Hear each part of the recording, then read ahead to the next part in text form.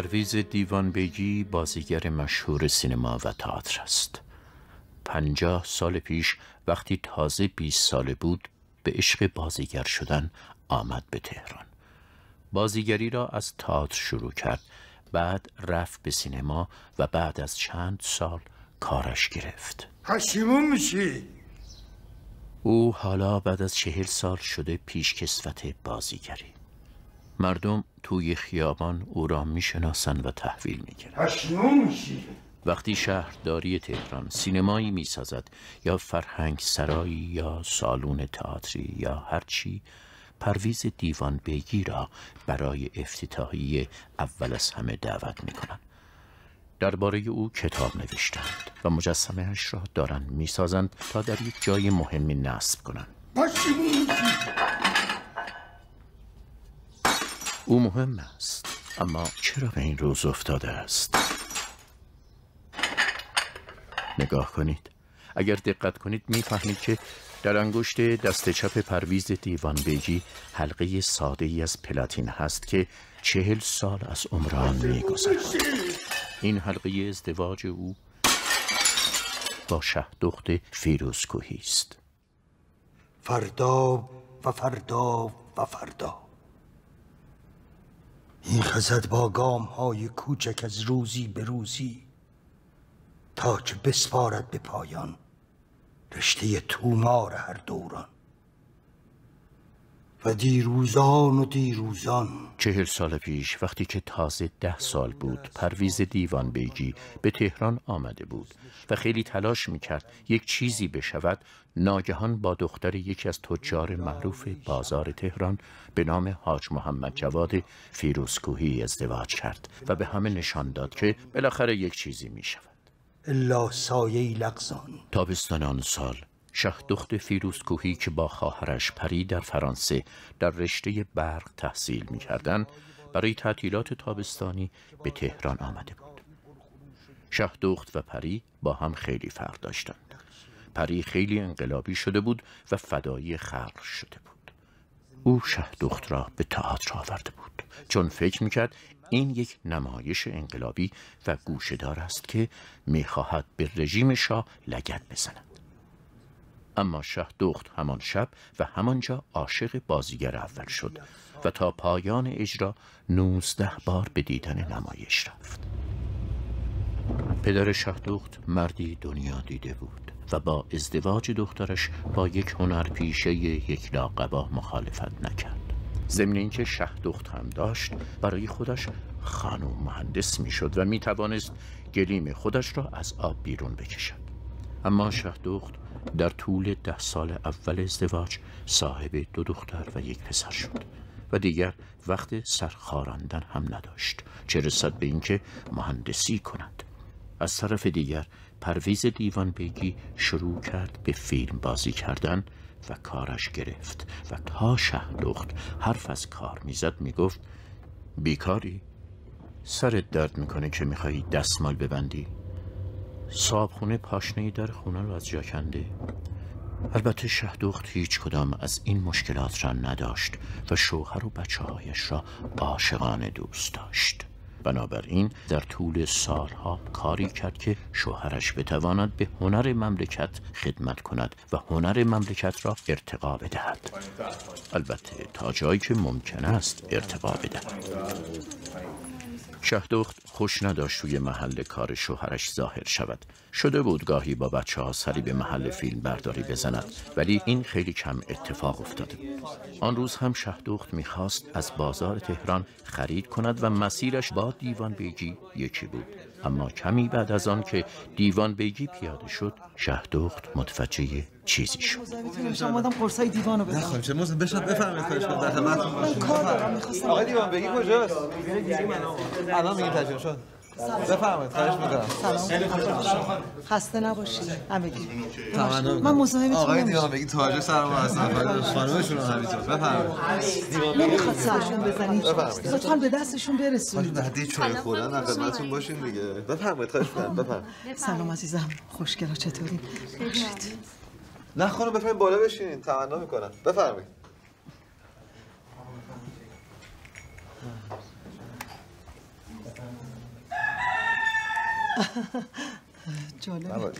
خروس خانم میل ندارم قربون دست نه شما نباید جلوتر. ولی این نباید برای من طوری نشد هیچی نشد به خیر گذشت. ببینم می‌تونید یه کاری بکنید این روز بیفته و در به داغون که من تمام حقوقم. خسارت. بابا جون دو دقیقه پیش ما واسو پنج سان پنج سان اینا هی میگی بالا پایین. کن بابا این هر بار که تکون می‌خوره رنگ و رو به این بچه میاد به یادشون. عزیز من چی چی رو داری شد؟ برو بالا. یواش. پنج سان پنج سان برو بالا. برو. یواش یواش یواش. برو.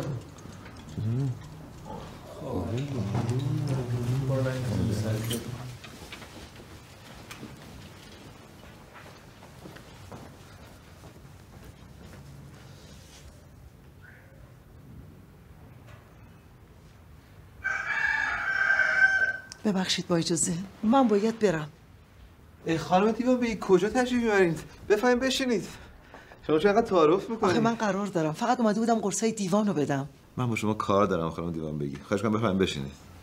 چه کاری؟ بفهمین بشینید من خدمتتون عرض می‌کنم. گوش می‌کنم بفرمایید. من تو آسمون دنبال شما میگشتم ولی رو زمین پیداتون کردم. شما رو واقعا خدا فرستاده خیلی ممنون شما لطفا ولی من اصلا متوجه نمیشم. من راد هستم کارگردان فیلم. ولی من ام، توی این روزنامه های سینمایی و مجله شما رو دیدم عکستون رو پس دیدم. به سینما علاقه من هستین. خب آدم وقتی با یه بازیگر زندگی می‌کنه دیگه. نه دلیل نمیشه. بگیر نگیر داره. همسر من هیچ علاقه به سینما نداره. عجب. راستش مشکل ما الان اینه که بازیگر نقش اول زن این فیلم روز دوم فیلم برای تصادف کرده دیگه نمی‌تونه کار کنه. بله متاسفم. دیوان برای من گفت امیدوارم هرچی زودتر خوب بشه. جایگزینی هم که برای ایشون در نظر گرفته بودیم بچه‌شون بره امریکا. نمی‌تونه ما کار کنه. شهرداری هم این خونه رو داره از ما می‌گیره چون تو طرح باید تخریب بشه. ما هم که نمی‌تونیم فیلم برداری عقب بندازیم بیشتر از این. والا من که کسی رو توی شهرداری سراغ ندارم مگر اینکه دیوان بتونه کمکی بکنه. نه ببینید مشکل من نه خانم ساعدیه نه خانم شکوهیه نه شهرداری. من می‌خوام شما تو فیلم من بازی کنید.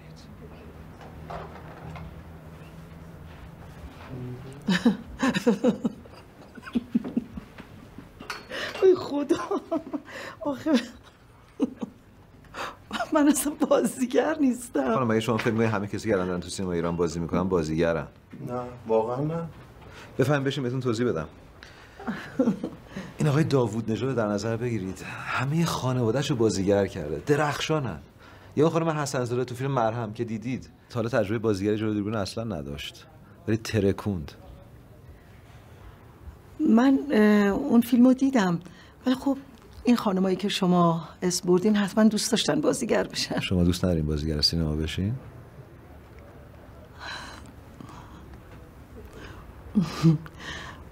والا من بهش فکر نکردم. اصلا نمی‌دونم از پسش برمیام یا نه. خانم اونو بسپرین به من. من قدم به قدم در کنارتون خواهم بود. ذره ذره با هم تمرین می‌کنیم تا تمام ترستون بریزه. من کارمو خیلی خوب بلدم.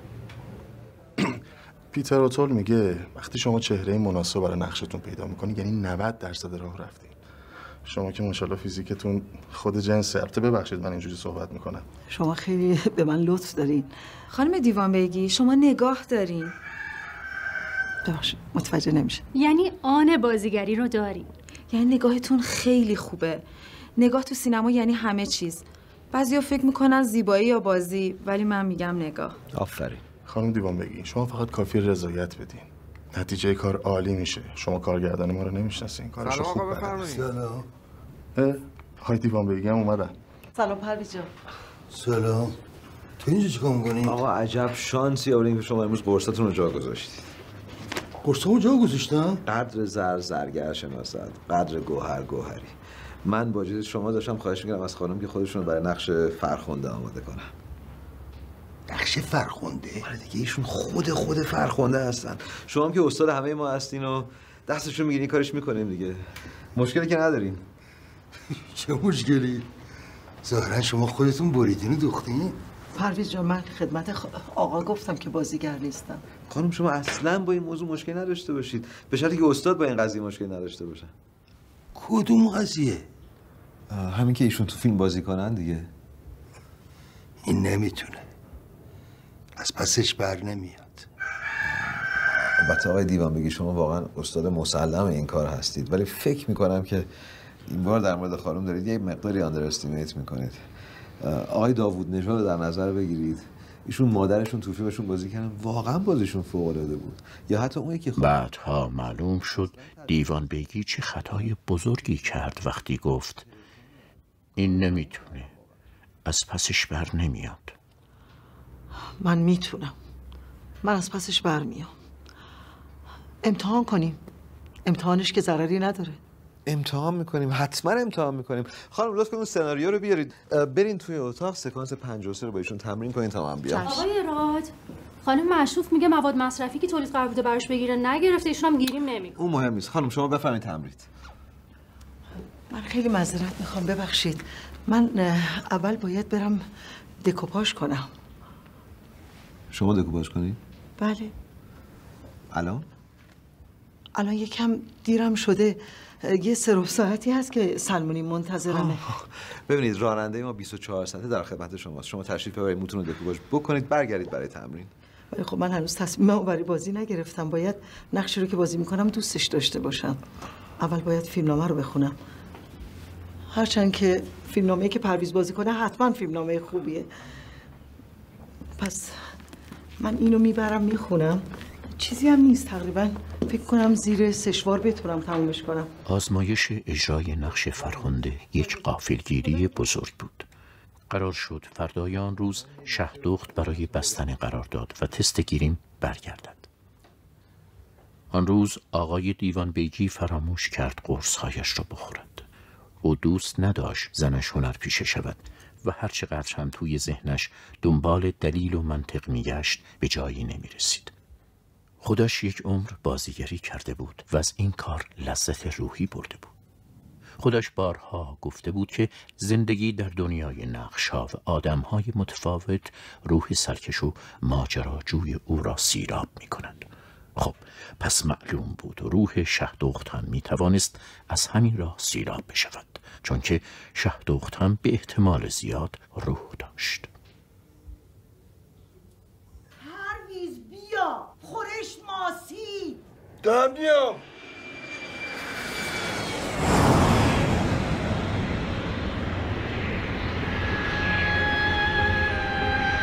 الان هفت ماه گذشته. فیلم در تاریکی ساخته شده. در جشنواره شرکت کرده و شهدخت فیروز کوهی برای بازی در نقش فرخنده جایزه بهترین بازیگر زن را گرفته. از این گذشته فیلم در جشنواره‌های خارجی هم مشغول درو کردن انواع جایزه هاست. اما پرویز دیوان بیگی که پیش از این سه بار جایزه نقش اول را برده این بار فقط کاندید شده و هیچ جایزه نگرفته. روزنامه ها و مجلات سینمایی او را نادیده می گیرند و در عوض از یک قافلگیری بزرگ می نویسند. بازی درجه یک و بی همتای شهدخت فیروز کوهی و اینکه او تا حالا کجا بوده. در چنین شرایطی آذر دیوان بیگی دختر دردانه پرویز و شهدخت از انگلستان فرار کرد و خودش را به ایران رساند. سلام از بنده است یه ماشین می‌خواستم در اختیار بله باشه منتظر میشم چولاق چی شد پرویز؟ نوشته من تو رو تو تاریکی نگه داشته بودم منو تو تاریکی نگه داشته بودی؟ چطوری منو تو تاریکی نگه داشته بودی؟ آبوز چرا منو تو تاریکی نگه داشته بودی؟ کجاست؟ پس من بعدش میاد چون تحویلش نگرفتم چون گفتم منطقه جماعت برای من مهم نیست مردم مهم اصلا یه جایی به خصوصش سوخته توده یه دیگه وقتی اینا میگی شما رو قبول ندارم مردم رو قبول دارم آتیش می‌گیرم توده ای بودن؟ مثل سوزاکی بودن. علاج نداره گاهی خفت می‌کنه. گاهی اوت می‌کنه. گاهی علاج میشه؟ وا پرویز. تو که خودت یه وقتی توده ای بودی. توده ای نبودم که. طرفدار خلی ملکی بودم. طرفدار نیرو سوم بودم. آهان اینهاش تو که این چیزا رو نمیفهم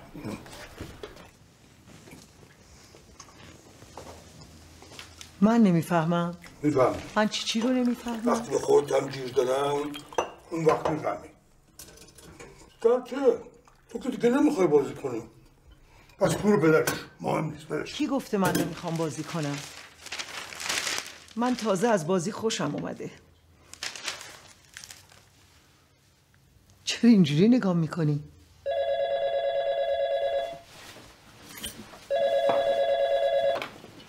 بله. نیستم اصلا نیستم نمی‌خوان با کسی حرف بزنم من توی اولاغ صبح اول صبح زنگ می‌زنه خونه مردم که مجله انینش بر کنه. فکر نمی کنه ممکنه خواب باشن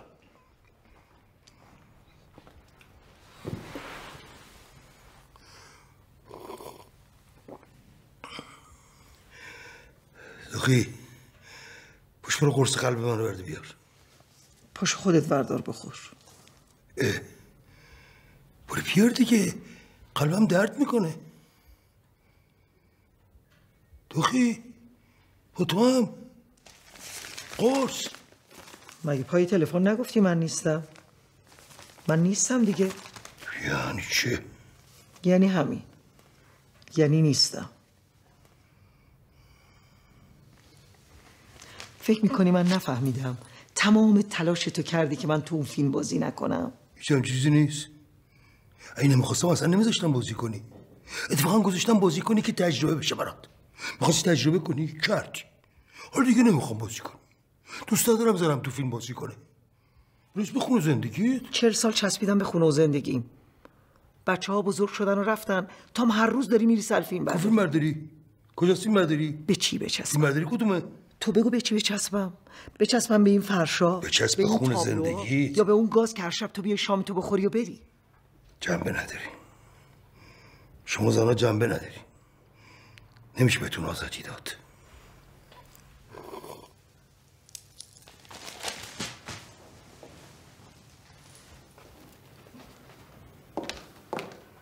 حالا نشونت میدم که جنبه نداره.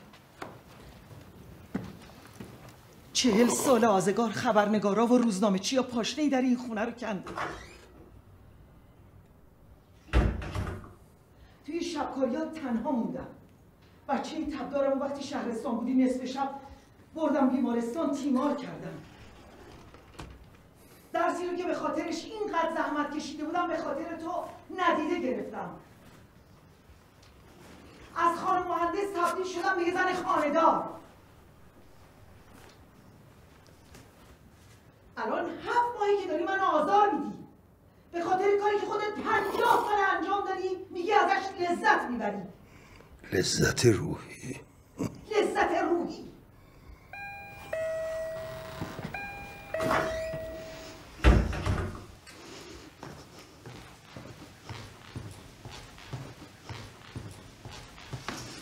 عاجزم کردی پرویز عاجزم کردی.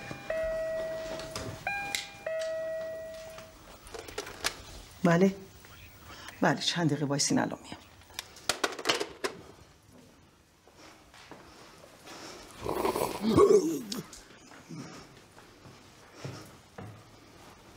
چرا می‌زنی؟ قرص خواستی ما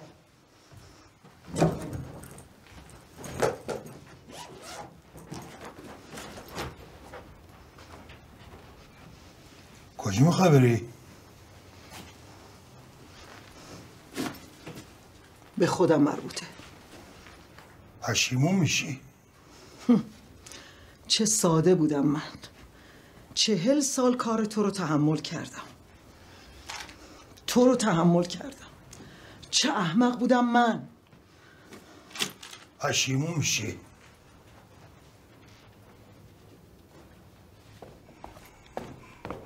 پشیمون میشی.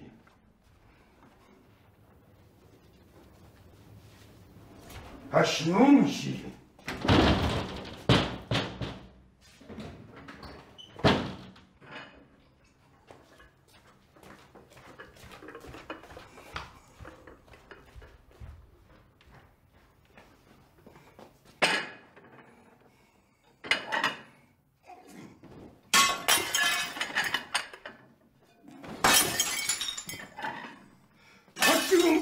از اون گردویی هم یکم بذاریم.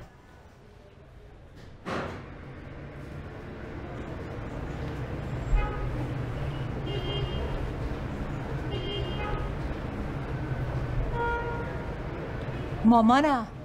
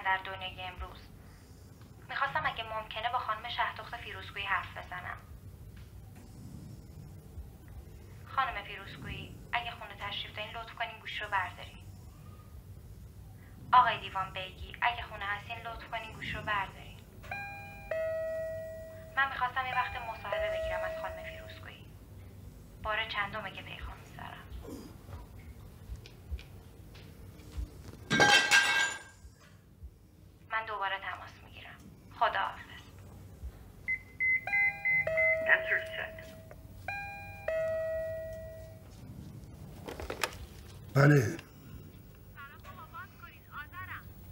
آذر توی؟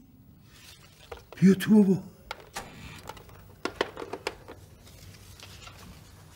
خدایم از آنچه نخواستی چه آید؟ آن را که نخوانده کی آید؟ ناکشته را آب چیست؟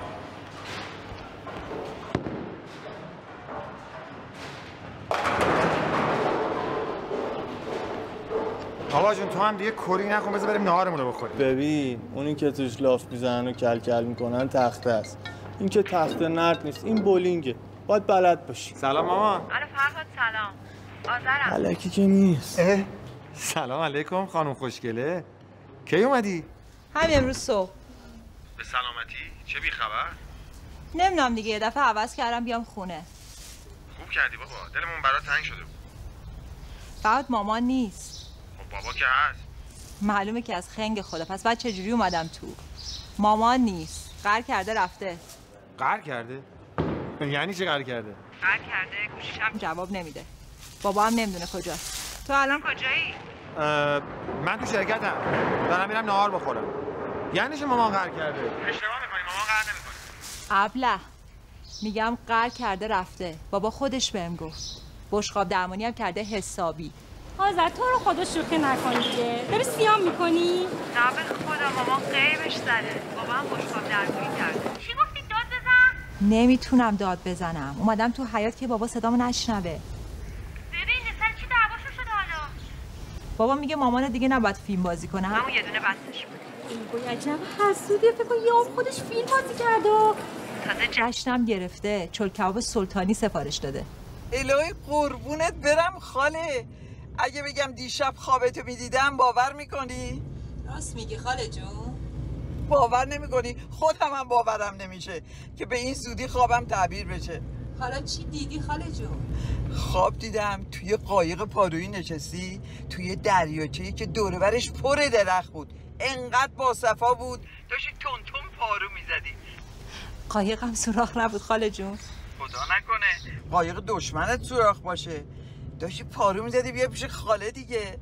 به خدا به خاطر دل من بود. خدا به دلت بندازه که یه کاره باشی بیای تهرون خاله جون من یه سوالی دارم. مامانم امروز به شما تلفن نکرد؟ مگه دوخی خونه نیست. مامانم بابام قهر کرده رفته. چیکار کرده؟ چرا غذاتو نمی‌خوری نگرانم. نگران نباش. قوت بخور.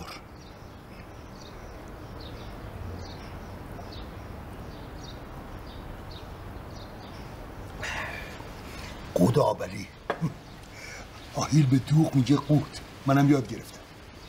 هی میگه قوت می‌خوام به در ساخته بابا جان هیچ می‌دونیم مردایی مثل شما و زنایی مثل مادرم تو اروپا نسلشون منقرض شده؟ بله دیگه. اینجا ما جز حیوانات حفاظت شده ایم. اینجا شکار ما ممنوع شده. ای تو امریکا اروپا نه. دیرو تو روزنامه خوندم پسره با گوله زده ننه باباشو کشته. بابا جان حرفو چرا عوض می‌کنی؟ مادره بالا سر بچهش نبوده.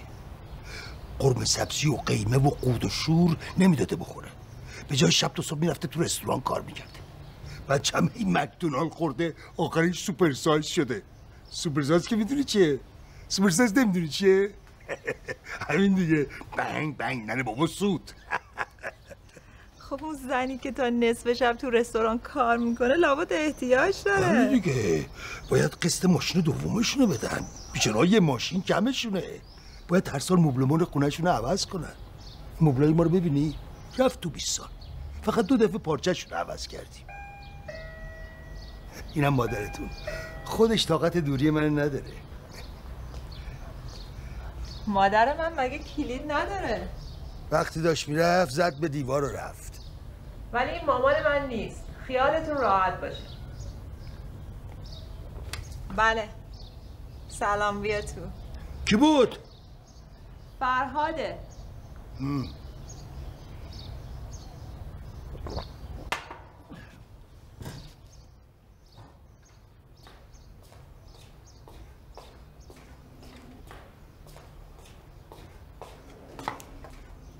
به گلی زنگ زدی؟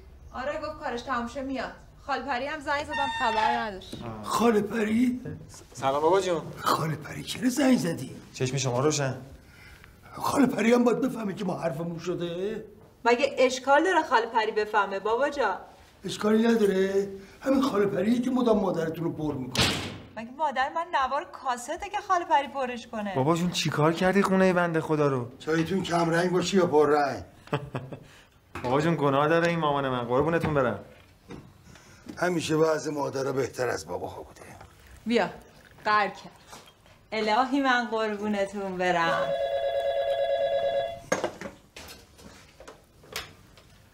بفرمایید الو منزلای دیوا میگی؟ بله بفرمایید ببخشید شما؟ شما تلفن کردی آقا؟ من اسکندر نگهبان ویلا نیاکم سلام اسکندر چطوری؟ ببخشید شما؟ من نظرم آذر خانم شما چشم ما روشن. در تاریکی. من واقعا نمی‌فهمم این فیلم واسه چی اینقدر فروش کرده؟ ولی انصافا مامان توش بهتر از باباست. اصلا این چیه؟ از اول تا آخرش یه فیلم یوبس عبوس آزاردهنده. به نظر من که کارگردانش سادیسته همه تماشاگراش هم مازوخیستن. در تاریکی.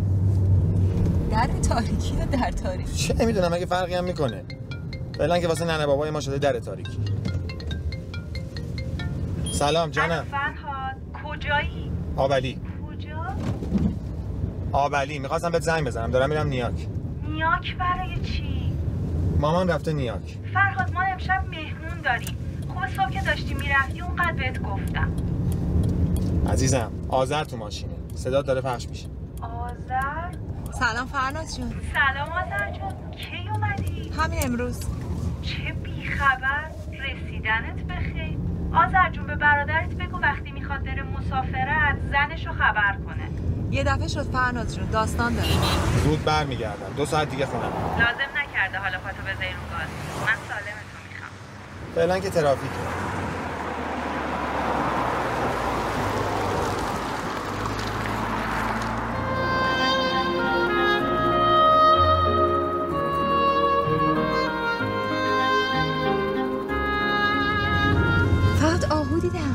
شوخی می‌کنی. نه به خود بچه آهو بود. من تو این مسیر تا حالا شغالم ندیدم. میگم بچه بود خاکی رنگ بود. خود دار و درختی هم نیست بره قایم شه. حتما خطایی دیده. خطای دید. میگم بچه بود. پس, پس چخان می‌کنی؟ نه خیلی غلط کردی. چاخانگو هم خودتی انقدر چخان نکن. چاخان خودتی که تو میدون تجریش به فرناز میگی آبلی هم رد کردیم همجور در راه خدا. بچگی هم همینطوری بود چاخان می‌کنی؟ کجا تدریج من همچین حرفی زدم؟ رو رد کرده بودیم. دروغ میبنده به جوون مرد مثلا اگه امروز قرمه سبزی خورده باشی به من ازت بپرسم نهار چی خوردی حتما باید بگی قیمه خوردم. میمیری اگه راستش رو بگی. اتفاقا امروز قرمه سبزی خوردم. حالا تو بیخبر اومدی؟ دلم تنگ شده. فیلیپ کجاست؟ سر جاش. بچه من چه خبره نی؟ چطور؟ خوبه. بچه برای سرگرمی خوبه. آخچم بعد بابا رو به زور می آورد واسه چی بابا الان روزاشو دعوت کرده مشغول حرف خوری؟ خفه شو. چی کارش داری بابا بیچاره رو؟ بذار یه نفسی بکشه.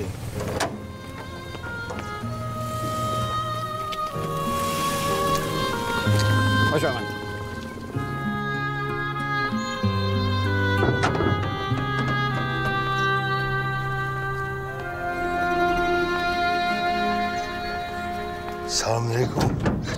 زحمت کشیدی. قابل شما رو نداره. نظریه. بزرگه رو بردارید. همین خوبه. بزرگه رو بردارین. خانم نیستن؟ نه خیر. سر فیلم برداری هستن؟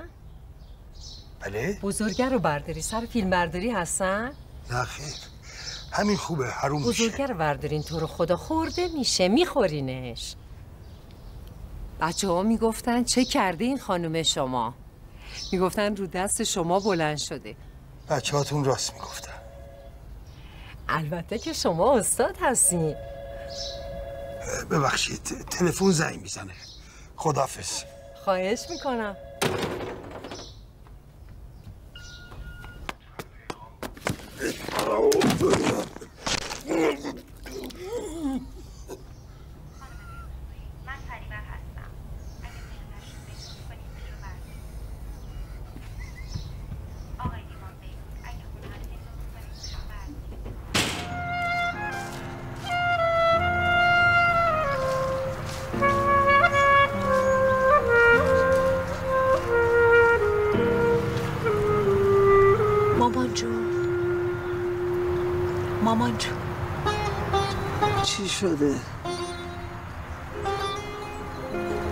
جون خوشگل من چطوره آزاری آزر نت برم الهی.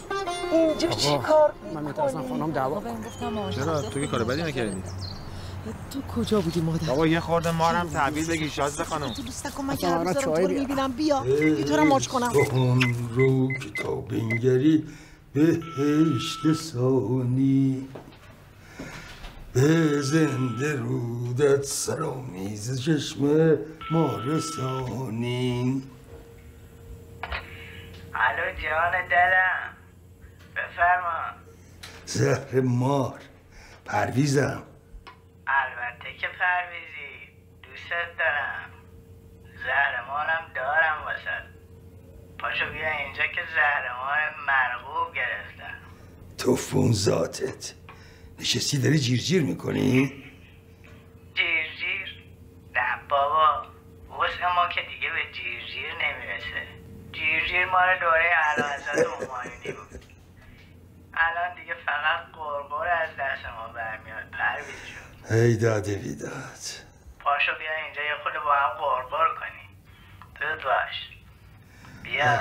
تو که می‌دونی من نمی‌تونم. حالم بد میشه میفتم رو دستت. بیا خودتو چوس نکن. اه نمی‌تونم. قرقرش وقت به من نساخته. قش زفت می‌کنم. نه ترس. بیا زول بیا میدم بخوری. چای نبات زعفرونی میدم بهت. نمی‌ذارم سردید کنه. بیا من بلدم. نه. بیا. شهدخ بفهمه سیبیلم رو دود میده. شهدخت از کجا می‌خواد بفهمه؟ اصلا شهدخت کجا رفته که تو جرأت کردی بعد از 90 و بوقی به من زنگ بزنی؟ تلفنت هم بذاری رو آیفون. به ترکی الو تلفن رو آیفون نیست که. عجب خریه. صدا از تو همون میومد بعد میگی تلفن رو آیفون نیست. تو چرا می‌خوای نفس منو بگیری؟ چرا می‌خوای دودم رو به باز بدی گوش کن چی میگم؟ یه زنگ بزن به شهدخت بگو دیوان بگی داره گریه می‌کنه. دیوان بیگی داره گریه می‌کنه. آره. اصلا بهش بگو داره میاد پیش من. بگو دیگه نمی‌خواد برگرده خونه. شهدو خر کرده؟ آره. رفته باغچه باباش. چی کار کردی حالا شهدو که علکی قهر نمی‌کنه. تو چیکار به این کارا داری؟ کاری که بهت میگم بکن. شهدخ صدای انکر رسمات تو رو که بشنوه سرزر برمیگرده سر خونه زندگیش. فرهاد تو دیگه به من نگو من چیکار بکنم چیکار نکنم. من از دست پدرت که یه عمر من گفت چیکار بکنم چیکار نکنم پا شدم اومدم اینجا. خواهش می‌کنم فضولی نکن. راست میگه دیگه مامانم هی فضولی می‌کنی. هی بهش میگی بکن نکن. مادره هر چی میگه باید بگی چشم. دیوونه. بیا مادر بخور. من فقط میگم بابا الان بیشتر از هر وقت دیگه به شما احتیاج داره. خودت گفتی بلدتش کردی. آره. خودم بعد عادتش کردم؟ شما که بابا رو می‌شناسی. هیچی تو دلش نیست. اتفاقا نمیشناسمش. خیال می‌کردم میشناسمش. الو سلام علیکم و رحمت الله بلند شک فرنازه برو پیشش. پس کیه؟ سلام کرده. آقای محسوس سعدی می‌خواد با شما کنیز شماست. کنیز کدوم آقا اسکندر این پرنسسه چشم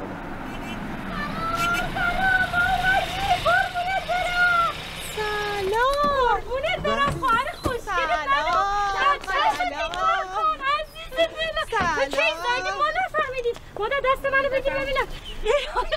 سلام آقا بزرگ. فدا تو سلام قربونت برم بله. قربونت برم. دیگه داشتم بله. خوردم سلام.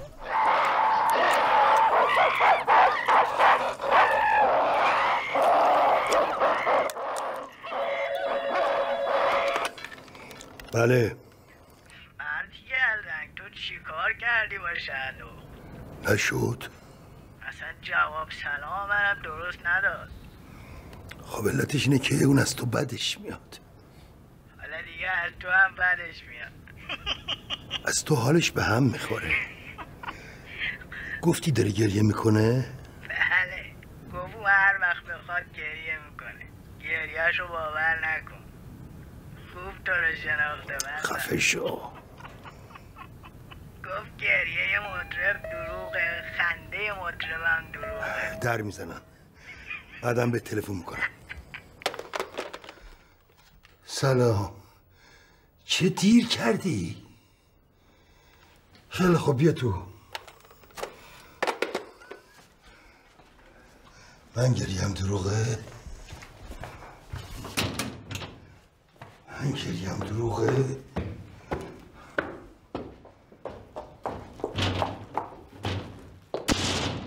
سلام سلام تو از همون پایین شروع کن من این بالا کار دارم حالا کجا شکستی؟ همون تو سالن دیگه ها ها باشه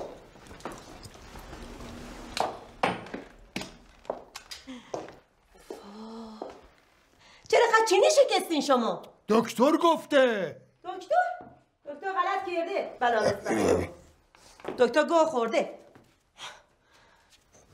اتاقو پکیده حالا دکتر رو یه حرفی زده. شما چرا خونه رو ایجور کردی؟ بنابر خدا. حالا زشته نه. من نمی‌فهمم. توی سه چهار سالی کاران نمی‌کرد که. آذر. ببینم تو کرم دور چش نمی‌زنی؟ نه چطور؟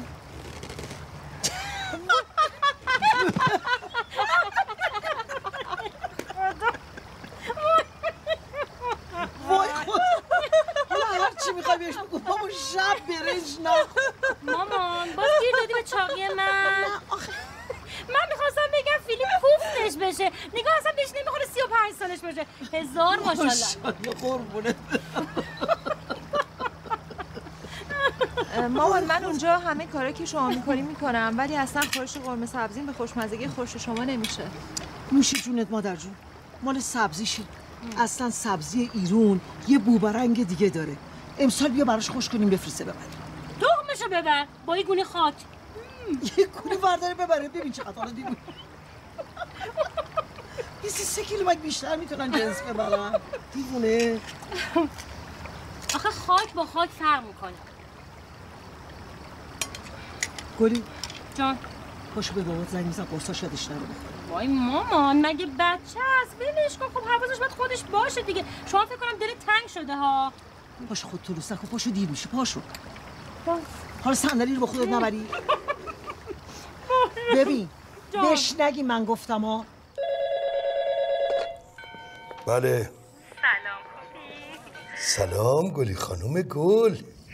شما کجا تشریف دارین؟ نیا کم دیگه. شما رفتین ده بالا.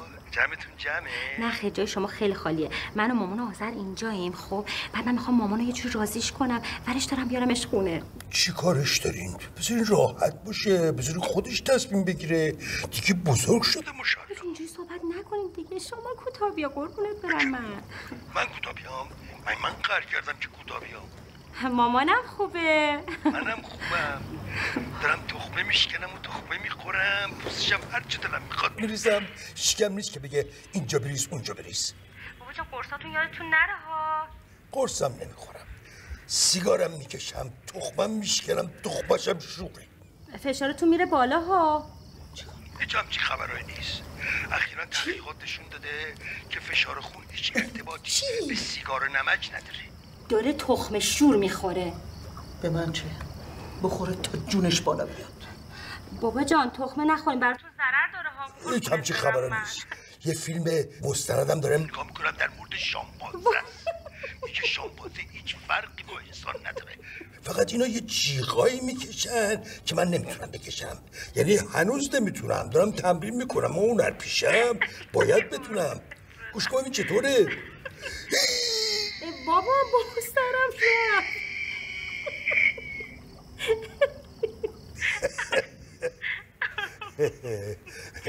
کاری نداری؟ نه خیلی میگم فقط با خودتون لج نکنید خب عواقب داره ها قربونت برم من.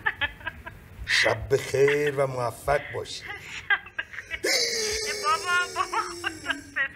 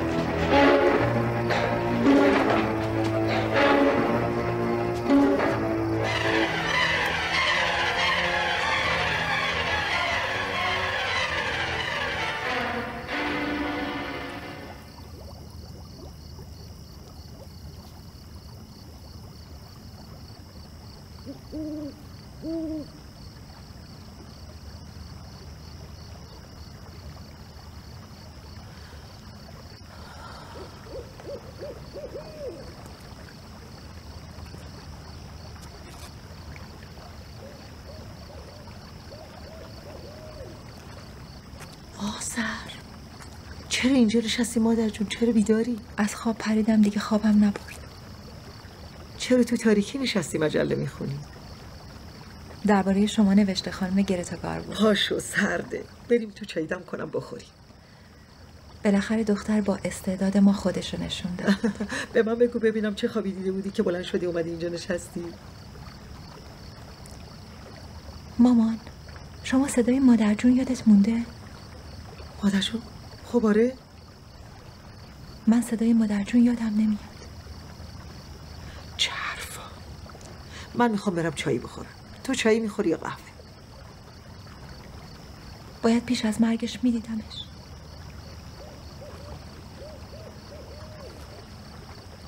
می‌خوای بریم سر خاکش؟ آذر.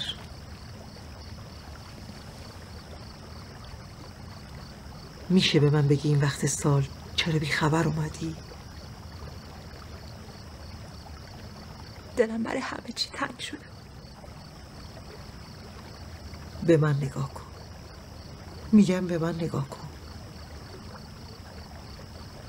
طوری شده. چی شده؟ فیلیپ کاری کرده. ما جدا شدیم ماما.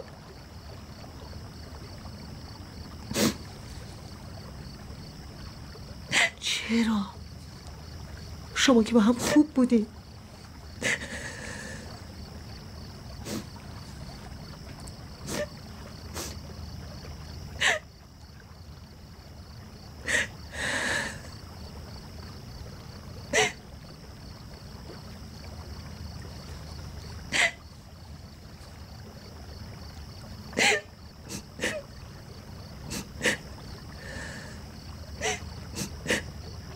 فیلیپ زیر سرش بلند شده بود. گفتنش سخت. به من بگو. خیلی ناراحت میشیم مامان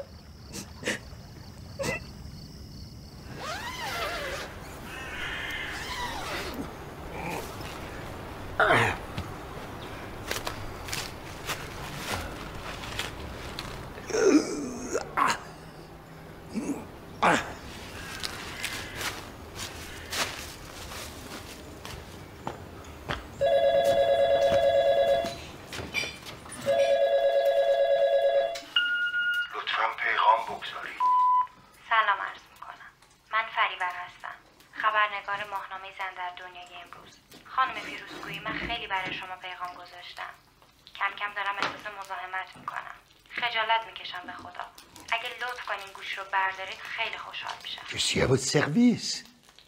Bon appétit.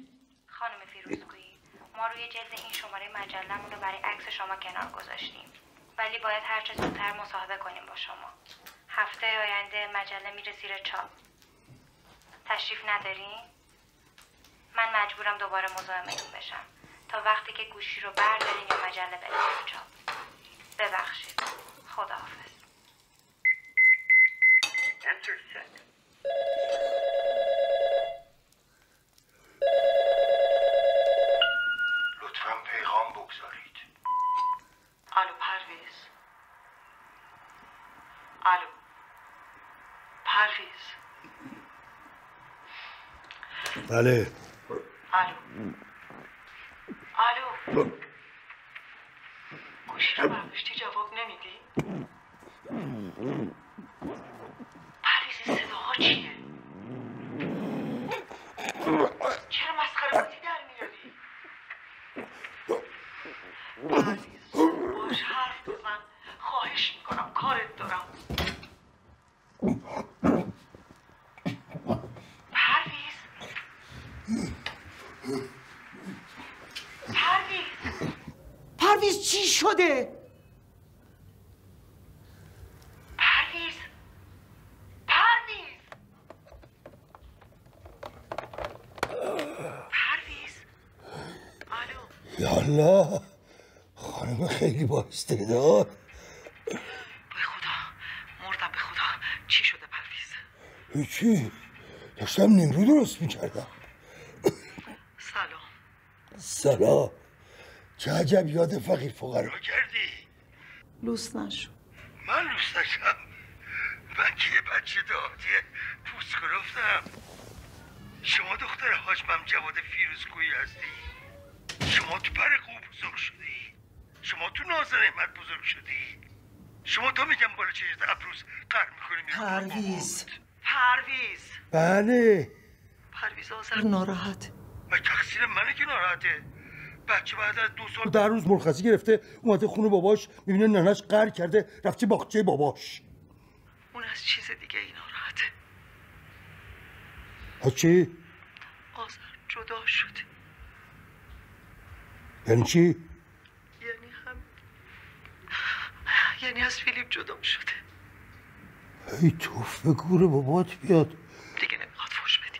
از اولش هم از این مردی که خوشم نمیومد.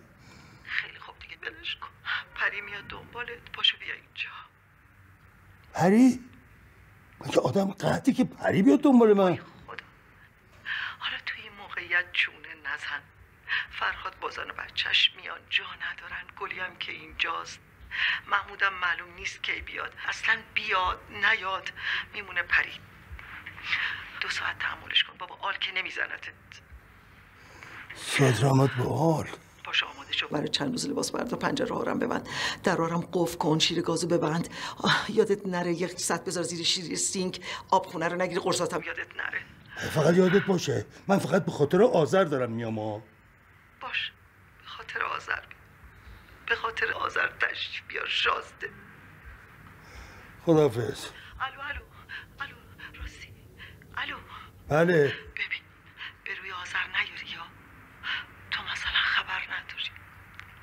هرچی دلش بخواد بهت میگه. چی؟ خیال کردی؟ من سنگ صبور دارم آره سنگ صبورش داری. حالا اگه نگفت بهت خودم بهت میگم. خدافز خدافز ای توف به گور پدرت فیلیپس. آره فیلیپس مثلا چه گویی بود؟ فیلیپس نشد پاناسونیک پاناسونیک نشد سونی.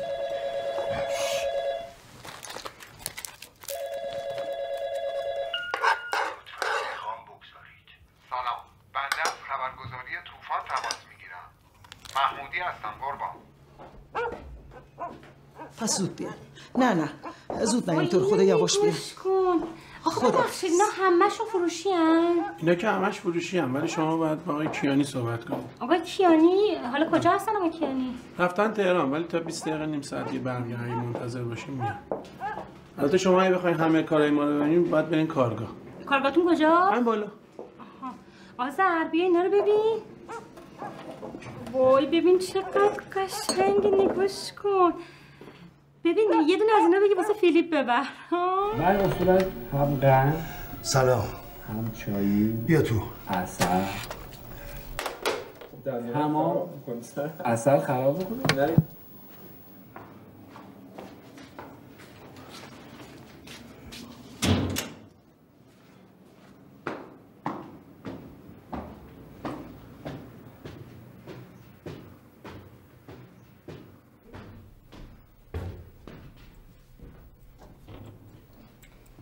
صاحب خونه. الان میام.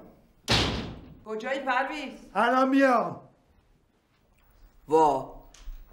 اینجا رو هنوز درست نکردی؟ خراب میشه رو سرتونا نه بابا چیزی نیست. مال باغچه همسایه است. باغچه‌شون کنار سقف آشپزخونه ماست. پس همسایه هر روز آب میبنده تو زندگیتون. چیکار میشی کرد؟ باغچه بالاست دیگه. بیچاره شهدوخ چی فرمودین؟ هیچی گفتم دخی گفته پنجره ها رم ببندی. بله در جریانم. بله دارم می‌بینم. چیکار می‌کنی پری خانوم؟ شما به کار خودت برس. زود باش حاضر شو. شب جمعه است شلوغه. راه دو ساعته میشه چهار ساعت. در ضمن قرصاتون هم فراموش نشه. آدم مثل بچه ها رفتار کسی نمی‌خواد با شما مثل بچه ها رفتار کنه پرویز خان. خوبه که این همه را بریم تا نیاک بعد ببینین قرصاتون رو فراموش کردین. یا اینکه من الان بهتون یادآوری کنم که فراموش نکنین آوردم. اینهاش مطمئن باشین با یادآوری من چیزی از نبوغ شما کم نمیشه. شما محبت داری پرویز زود باش. دارم میام. انقدر چیسان پیسان نکن دیگه.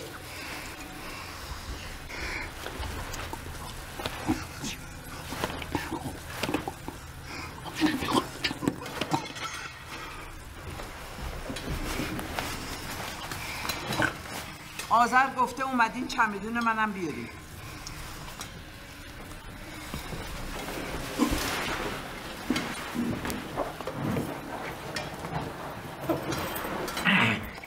پری خانوم پری خانوم بله. پری خانوم بله. این چیه دیگه؟ اینو بگیر. تا من برم بقیه زرات خونم بیارم. مواظب باش سی میلیون قیمت شا پروانه داره؟ بذار تو جلدش سیبم میگم ببند پروانه داره. پروانه می‌خوام چیکار کنم من خودم پروانه پروانه. واقعیت رو میگم به خدا. من همیشه فکر می‌کردم سفال سفال لالجین همدانه. یه رنگ یه جور یه شکل. ولی کارهای شما خیلی متنوع است. لالجین همه دارم که دیگه تعطیل شد. یادش بخیر. من اصلا فکر نمی‌کردم تو ایران از اینجور سفالا پیدا بشه. اتفاقا زمانی که لالجین همدان هنوز برقرار بود یه سری کارگاه بودن که از این کارهای ذوقی می‌کردن. کار ذوقی. الان هم تو تهران و اطراف تهران یه چند تا کارگاه کوچیک هستن که از این کارا می‌کنن. اینا سفارشی هست؟ آه اونا رو اگه بخواین سریع براتون آماده می‌کنم برای شما می‌سازم. وای من این چکمه رو دوست دارم. این اسبه. اسبه دو تا از این ساختم یکی توی موزه هنر معاصره. میگم این فرفریاش خیلی قشنگش کرده ها. اونم نقوش اسلیمیه اسلیمیه بعد شما اینو به طور مستقیم روی سفال پیاده می‌کنی؟ نشد دیگه. شما اگه خیلی می‌خوایم فوتو فن کاری یاد بگیریم باید یه چند سال بیاین اینجا کارگری کنیم اتفاقا بدم هم نمیاد. آخه. بذار جون میشه اون. شازده رو بیاری لطفا؟ اوا سلام. سلام. علیکم. خوش اومدید. احوال شما. بریم آیا. خوش. خیلی خوش اومدید. بهزاد همکار من خوشبختم. این یه مجسمه به شیوه ظریفامه. این هم نقوش دوره سلجوقیه. گیله ترکای رو لعابو نگاه کن. آقای کیانی ما نیاک هستیم. دیوار به دیوار باغچه شاپوری. یه باغچه داریم شاید اونو بشناسیم. شما از باغچه‌تون سرشناسترین خانم. از وقتی که فیلم در تاریکی رو با همسرتون بازی کردین همه مردم اینجا به خودشون مینازن. ایوا شما فیلم مامانو دیدی؟ بله. اصلا بهتون نمیاد اهل سینما رفتن باشین. درسته خیلی حلش نیستم. ولی اسم فیلم کنجکاوم کرد. بعد که فیلم رو دیدم هم از خود فیلم هم از بازی شما خیلی لذت بردم. شما خیلی لطف دارین. من می‌خواستم بگم که همه خانواده فردا تو باغچه جمع میشن. خیلی خوشحال میشیم هنرمندی مثل شما تو جمعمون باشه. من فردا نهار منتظرتون میشم. لطف داری. من تو جمع کم خجالتیم. حالا اگه تا فردا ظهر نظرتون عوض شد خیلی دوست داریم تشریف بیارین جمع ما خیلی بیریاست. من مطمئنم به شما بد نمیگذره.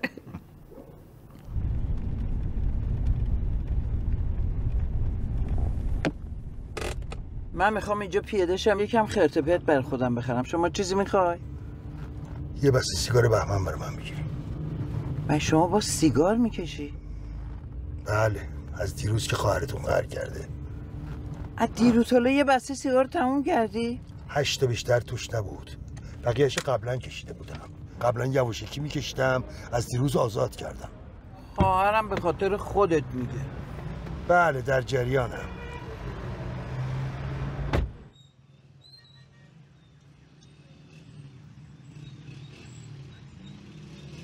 می‌خوای یه باکس وسط بگیرم چی فرمودی؟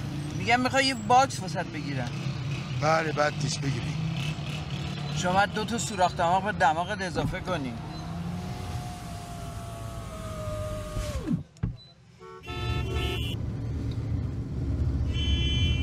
بوخ بزن. بوق زدم شما حواستون نبود. پس چرا نمیره کنار؟ چه می‌دونم. لابد مثل شما حواسش برده. سبقت بگیر. جاده رو بند آوردی. صد سال. تو این پیچ و پیچ انحراف به چپ برم. یه ماشینم یهو از جلو بیا دیدم که ندارم. بزنه بهم چه خاکی تو سرم بریزم؟ پس بوق ممتد بزن. زدم. بوق ممتد. بوق زدم. اگه می‌خواست ملاحظه بکنه خب ملاحظه می‌کرد دیگه.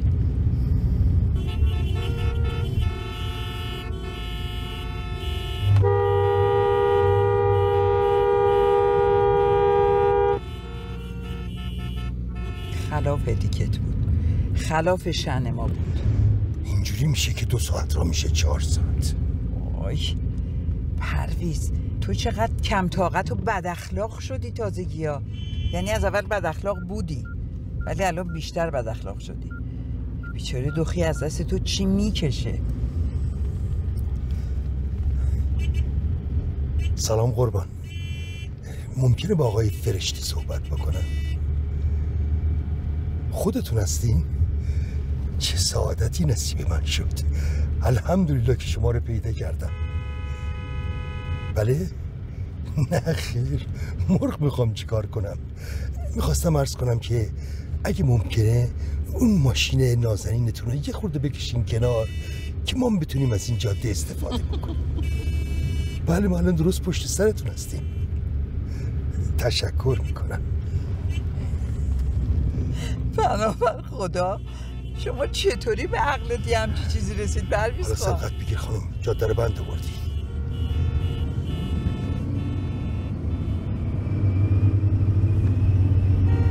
آی نصیب نشه. شما رو شناخت گاز بده.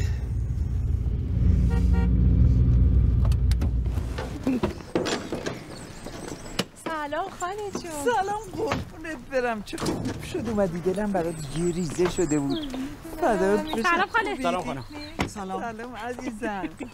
اینا کی اومدن؟ یه ده دقیقه اینطوراست آقام رفتن گفتم می‌خوام باده پا در کنم. باده پا در کنن مامان جان ما گشنمونه ها. یک ساعته گفتم برمیگردن. موبایلشون هم نبردن. ولی تفنگشون رو بردن. تفنگ؟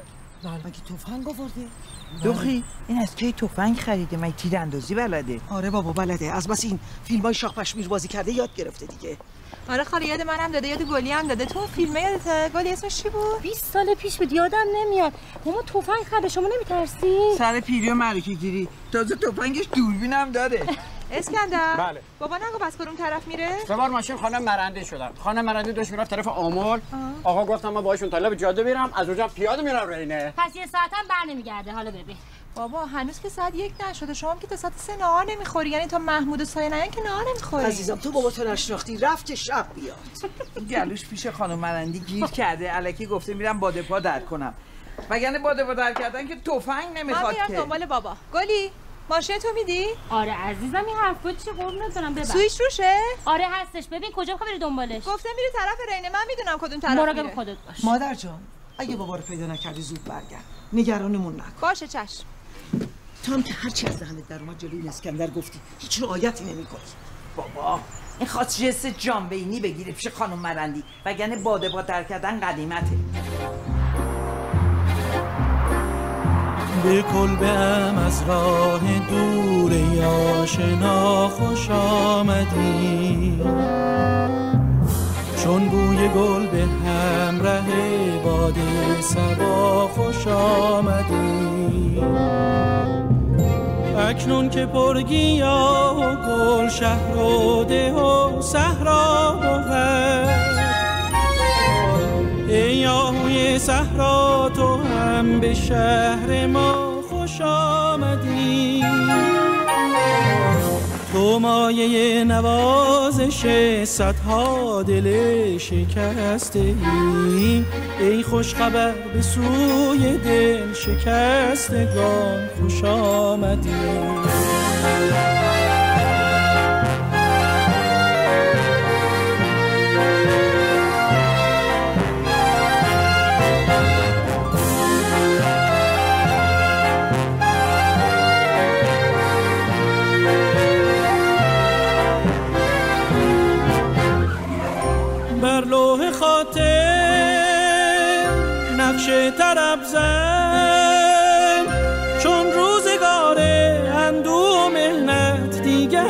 گذشته.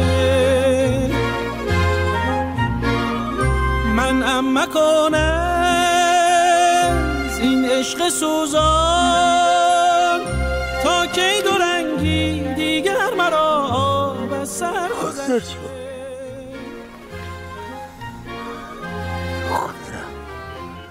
اومدی دنبال بابا بیا. من نمیام. بیا. ایان که مقدم تو بود گرانی. من جای گل سلام سلام. سلام. سلام خانم.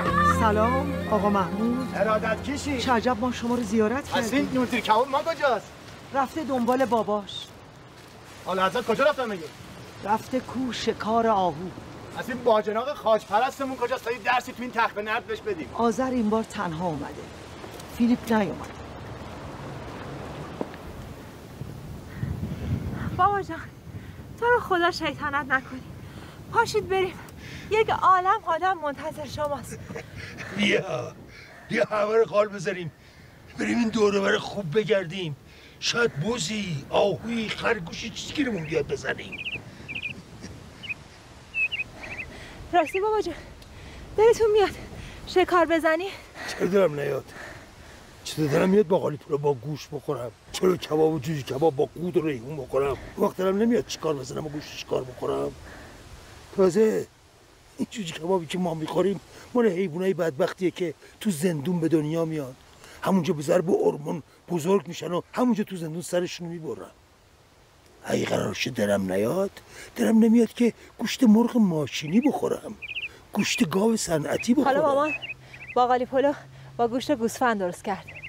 گوسفندش هم سوء سابقه نداشت. هیچ وقت هم زندان نرفت. همیشه همین دور بره بر خودش میچریده. خاطرتون جمع. باید فردا بیای همینجا با من مسابقه تیراندازی بدی. باشه. ولی شما میبازی مالیدی. بابا جون. چه کار خوبی کردین اومدی. می‌خواستم با تو باشم. تو که بابای پیرتو قال گذاشتی رفتی. ای بابا من اومدم دنبال مامان که مامان رو برگردونم. من این همه را نیومدم که فقط پیش یکیتون باشم. ولش کن شوخی کردم. اینا مهم نیست از خودت بگو. چی کارا می‌کنی؟ همون کارهای همیشگی. مادرت یه چیزایی به من گفت. چی گفت؟ گفت دیگه. منم بهش گفتم گور پدر فیلیپ.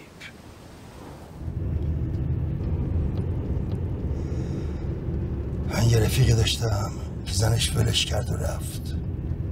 خیلی زنه رو دوست داشت. عاشقش بود. این جریان مال سی سال پیشه. مال همون اوایل انقلاب. این رفیق ما یه دوستی داشت که تو این دار های انقلابی بود. با حکومت در افتاده بود. خواست اینجا رو بلشویکی کنه. پلیس هم دنبالش بود. این رفیق ما بهش پناه داد. برد خونه قایمش کرد. روزا می‌رفت سر کار و شبا برمیگشت. با زن شایی یارو میشستن به عرق خوری و ورق بازی. این وسط دنبال این بود که بتونه این یارو رو یه جوری از مرز رد کنه. نگو یارو خودش بلد بود از مرز رد شه. می‌خواست زن آقا رو با خودش ببره. بالاخره هم یه شب که اومد خونه دید یه نامه براش گذاشتن. توش نوشتن تو ما خوبی کردی. ولی ما عاشق هم شدیم. یه بچه چهار سالم گذاشت رو دستش. ای وای. پسر بود یا دختر؟ پسر. ولی بچه چی؟ تو نمی‌دونی این دوتا چقدر همدیگر دوست داشتن. میمردن برای همدیگه. هر کی اینا رو میشناخت و این جریان رو می‌فهمید و برق از کولش میپرید. من که گفتم دووم نمیاره دیوونه میشه. دیوونم شد. یه ما افتاد تو خونه و از رو تخت جم نمی‌خورد. من بهش سر می‌زدم. هیچی نمی‌خورد. 20 کیلو کم کرده بود. اون گوسفنده رو ببین. الان داره به بغل دستش میگه. این یارو همون هنر پیشه نیست که خیال می‌کنه کرک گی بره. ببین جم نمی‌خوره. بقیه داستان چی شد بابا جون؟ داشتم می‌گفتم. چی می‌گفتم؟ آه. بعد یه مچل روز پشد پرداری کنار زد. کارگر زبکت خونه شد تمیز کنه.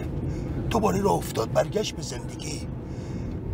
الان باید ببینیش. مثل صخر محکمه. یکی از بهترین کارگردان این مملکته. کیه؟ بگم که یاور مشفقی. راست میگی؟ اون که خیلی آدم شادیه همش داره شوخی می‌کنه مسخره بازی در میاره. پس یادته. یه فیلمی بود که توی لورستان فیلم برداری می‌کردی. باریکلا. پرواز یوز پلنگ. بله. دیوان بیگی خیال می‌کرد که با حرفهایش به آذر روحیه می‌دهد و اعتماد به نفس او را تقویت می‌کند. اما آذر از سخنرانی پدرش این را فهمید که پدر هنوز اصل موضوع را نمی‌داند. فکر کرد شاید مادرش صلاح ندیده همه چیز را پای تلفن برای او بگوید.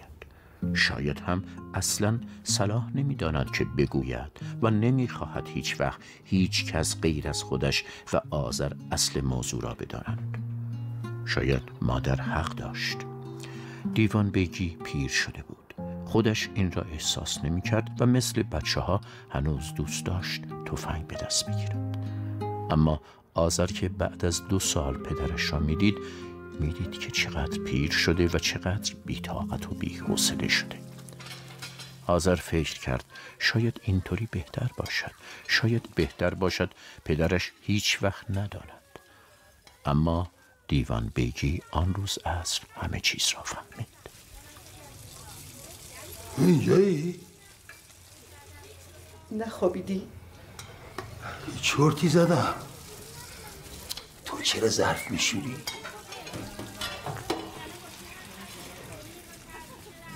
گریه می‌کنی؟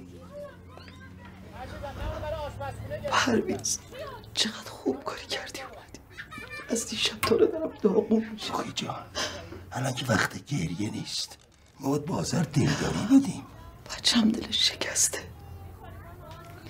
این اتفاق برای خیلی افتاده. بازم میفته. نمی‌دونم کجا خوندم؟ نوشته بود انسان چیزی نیست جز استراب آینده. چی؟ منظورش اینه که ما دائما مضطرب فرداییم. ولی فردا رو کسی ندیده. اصلا تو از کجا می‌دونی که این جریان برای دخترت خوب نباشه؟ تو رو خدا فلسفه مافی نکن. فلسفه چیه؟ حقیقت میگم. مثلا این خواهرت ببین. پری. کجاست؟ کی؟ پری کجاست؟ چه می‌دونم پری کجاست؟ من خوابیده بودم. بریم بالا کارت. همین پری رو نگاه کن. اگه چل سال پیش یارو قالش نذاشته بود نه دانشگاه می‌رفت نه دنبال کار کاسبی نه پول در آوردن تازه ممکن اون سه چهار سال بعد از هم جدا بشن. وقت چی می‌شد؟ از حالا بدبختن. ممکن بود روانی بشه یه تفنگ برداره بذاره هر چی مرده بکشه. درو نبند. بذار اگه کسی بیاد متوجه بشیم.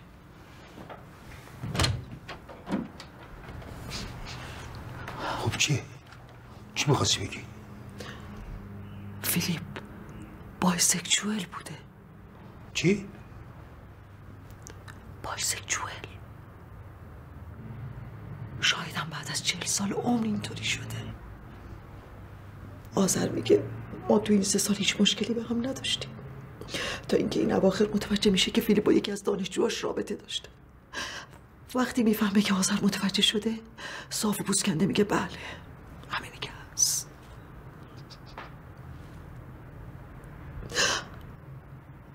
باور می‌کنی پرویز باور می‌کنی پرویز فیلیپ با گفته من هنوز تو رو دوست دارم. می‌خوام باهات زندگی کنم. حالا که همه چیز متوجه شدی بیا با هم دیگه هر سه نفری توی یه خونه زندگی کنیم. سه نفری با اون پسره.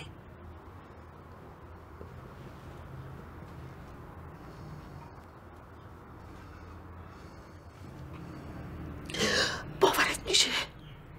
باورت میشه اینو بازر گفته باشه چرا اینطوری شد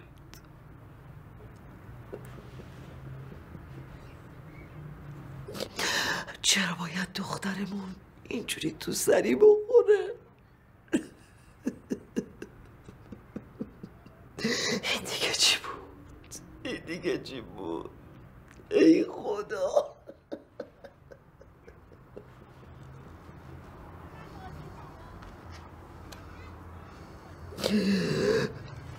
پرویز پرویز باشه بیا تو اتاق پرویز باشه بیا تو اتاق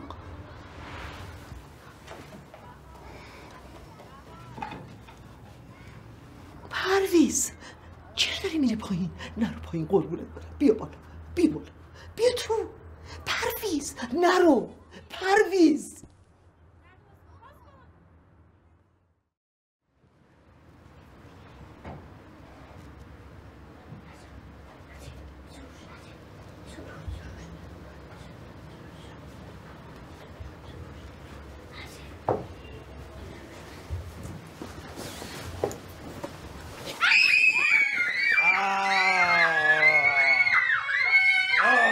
این خونه روح داره پرویز دیوان بیگی مرد خوششانسی بود. روزگار همیشه با او خوب تا کرده بود. هم در کار هم در زندگی خصوصی تاس او همیشه خوب می نشست به این عادت کرده بود که خوششانسی هایش را به حساب خودش بگذارد. عادت کرده بود به خودش بنازد و به بچه هایش بنازد و همه را زیر بال و پر خودش بگیرد و به همه دلداری بدهد و کار درست و راه درست را به همه نشان بدهد. اما حالا دیگر نمی توانست فکر کند و نمی خواست فکر کند. دل و دماغ فکر کردن نداشت. توی این چهل سال بیشتر از سه چهار بار گریه شهدخت را ندیده بود که آخریش همین بعد از ظهر بود. برو برو تو. پرویز دیوان بیگی به خاطر این گریه آخر احساس تقصیر می کرد کجای کار اشتباه کرده بود؟ نباید به آذر اجازه می‌داد که برای تحصیل به خارج برود. نباید به او اجازه می‌داد که زن یک فرنگی بشود؟ سعی کرد به خودش دلداری بدهد. اصلا چرا اینقدر ناراحت بود؟ آذر خوشگل بود و تحصیل کرده بود و می توانست یک شوهر خوب برای خودش پیدا کند. بله. خاله پری چگواراست خاله پری پاتریس لومونباست آذر تازه سی و چهار سالش بود. دخترها الان تو این سن و سال ازدواج اولشان را می کنند اما اصل موضوع این نبود. دخی راست می گفت آذر تو سری خورده بود. نه تنها آذر بلکه شهدخت و خود پرویز دیوان بیگی هم تو سری خورده بودند. سایه! سایه مامان بیا دیگه. چی میگیم به هم؟ من نمی‌دونم به هم چی میگن خسته نمیشن. همون حرفایی که شما با محمود وقت نامزدی می‌زدی. یادت رفته؟ مامان. جانم. من اومد. ای اومد. هومن اومد بشینی سر سفره بلند نشی. ای شاید سایه جون اومد. اینقدر این پسره رو موبایل پیچش کرد تا بالاخره نصف شب بلند اومد. اه اه اه میری سفره؟ مادر قمره مادر زنش دوستش می‌بینی مامان؟ نصف شب پسر بلند شد اومد. قربونت برم. اینقدر به این دختر گیر نده. این دیگه بزرگ شده. ول کن. نون نخور. من برای شما سبزیجات پختم سلام سلام به همگی بفرمایید خواهش می‌کنم سلام فرض کن بفرمایید خواهش می‌کنم سلام حال شما چطور ببخش خوبی مشتاق دیدار ممنون. من می‌خوام خواهش می‌کنم. بفرم ببخش مادر زنت خیلی دوستت داره بابا مرسی برای من گل آوردی. راضی به زحمت نبودم.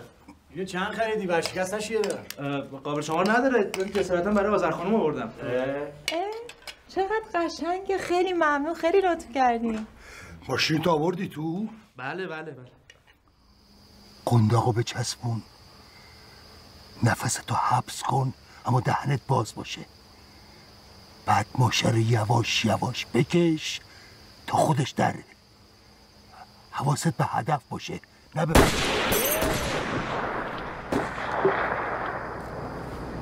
اینه.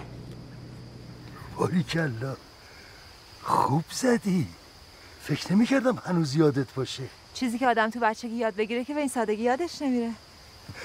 حالا خدا وکیلی اگر الان یه بوزی کلی چیزی از این دوره بر رد بشه حاضر نیستی بزنی و امشب و فردا شب همه رو به گوشت شکار مهمون کنی؟ اون وقت کی ببرتش پایین برسونتش لب جاده.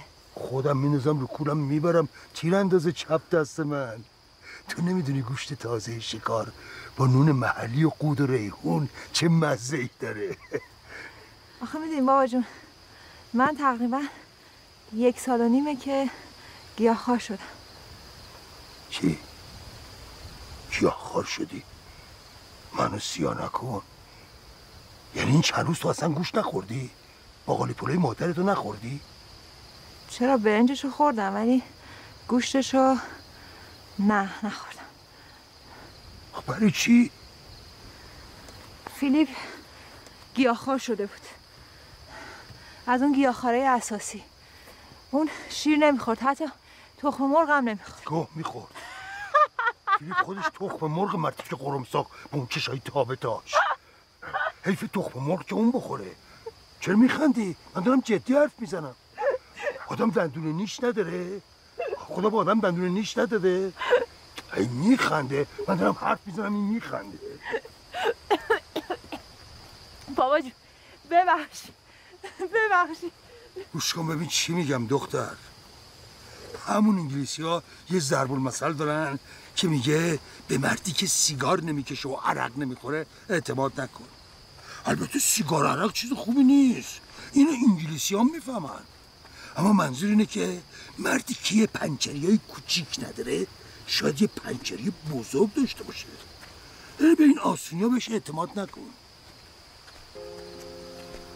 تو همون موقع شوهرت گیاهخوار شد باید بهش شک می‌کردی. نه اینکه واسه آشپزی کنی و خودت هم گیاهخوار بشی. اینجور آدم که می‌خوان زیادی خوب باشن خیلی خطرناکن. اینا از آدم بودن خودشون خجالت می‌کشن. از دندون نیش خودشون شرمنده. من شنیدم اونجا مردایی هستن که فمینیستن. آره؟ بله هستن زیادن زیادن. مرد فمینیست چطوری میشه؟ مرد فمینیست یه چیزی مثل کچل موفرفریه مگه نه؟ اینا زیادی نازنین شدن. نمی‌خوان آدم باشن. می‌خوان فرشته باشن. اما معمولا کارشون به جنایت می‌کشه. چون که فرشته نمی‌تونه وسط آدما باشه. فرشته اصلا از آدم بدش میاد. می‌دونی وقتی خدا می‌خواست آدم رو خلق کنه فرشته ها گفتن می‌خوای اینو درست کنی که تو دنیا خونریزی را بیفته خدا گفت من یه چیزایی می‌دونم که شما شعورتون نمی‌رسه نمی‌فهمید می‌دونستی اینو؟ بله شنیدم می‌دونی من چقدر خوشحالم که تو از فیلیپ جدا شدی؟ آخه این چی بود دختر که تو پسند کردی؟ دختر از سوار و تیرانداز من چرا باید گرفتاری همچین نامردی بشه؟ که آخرش کار خودشم بکشه به گیاهخواری می‌دونی گیاهخواری باعث میشه موات بریزه پوستت چروک بخوره از ریخ بیفتی؟ اصلا تو چطور جرات کردی با پروی مادرتو نخوری؟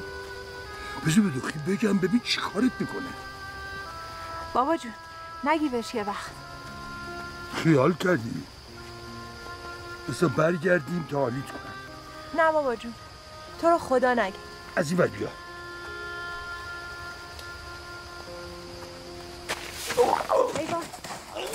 چی شد؟ محمود خان ببین چه دامادی داری. صبح زود رفته وسط نونسنگه که تازه گرفته آورده. حالا جون قربون اون شکلت برم. یه روز جمعه است دیگه. حالا اون داغ عاشق شده خدا زده پس کلش دخلی به من داره. تازه بابا هومن یه پروژه جدیدم گرفته. مبارکه. همون اتوبان سعد نه به غیر از. آره کلا؟ بله. یکی مال مترو تهران قراره دو تا نقش برجسته سنگی واسه مترو خط خانم منقل. آماده است. اگه اجازه بدین بلارا رو درست کنم بیارم بخورین تا ببینیم آقا قاضرخانم کی؟ انگار خانمت کارت داره. خانمت گوشگیر شده. اسکندر قبلا اینجوری نبود. شرمنده خانم چه عرض کنم؟ یه خب افسردگی پیدا کرده آخه چرا؟ یعنی دکترا میگه. طوری نیست. افسردگی بعد از زایمانه. من تجربهشو دارم. البته خاله جون اسکندر زنش خیلی اذیت می‌کنه. نه به جدش قسم خودش ناغافلی طوری شد. دکتر گفت افسردگی بعد از زایمانه. گفت کم کم خوب میشه. اسکندر مرد خوبیه هوای زنشو داره. بالاخره هرچی زنه دیگه. بالاخره زن دیگه یعنی چی؟ اسکندر خدا به دادت برسه. یعنی یعنی یعنی دلش کوچیک خانم. دلش کوچیکه؟ بله خانم. اگه تو هم نه ماه یه آدم تو شکمت نگر میداشتی بزرگش می‌کردی بعد میزایدی اون وقت بهت می‌گفتم دلت کوچیکه یا بزرگه. فکر کردی کار آسونیه؟ نه خانم می‌دونم آسون نیست. مادر خودم یازده تی زایده یازده تا؟ بله خانم. من فکر کردم اینا شیش تا. نه خانم ما یازده تا بودیم ولی خب پنج تا شما همشون به دنیا نبود. همشون بخشن به شما.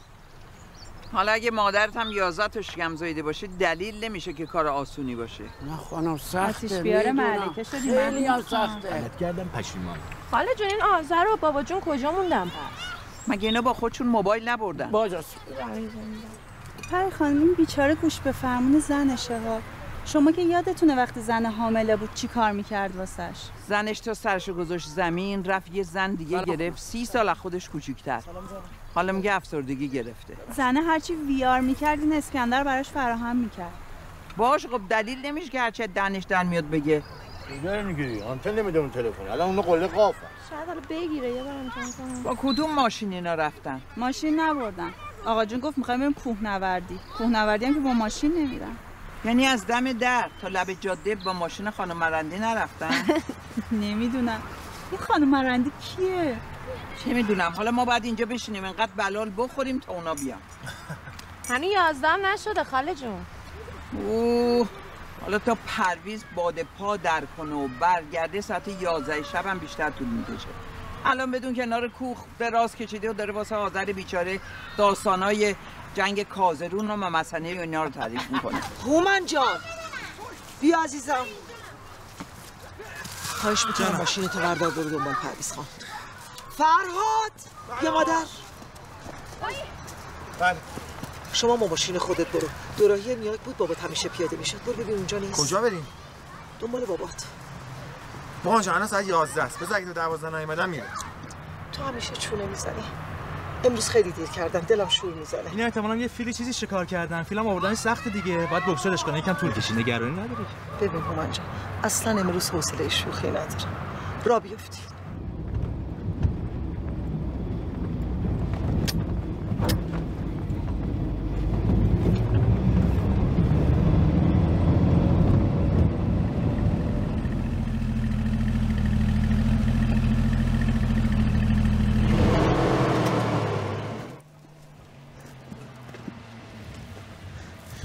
مواظب باشیم بابا جان اینجا یه چاله است.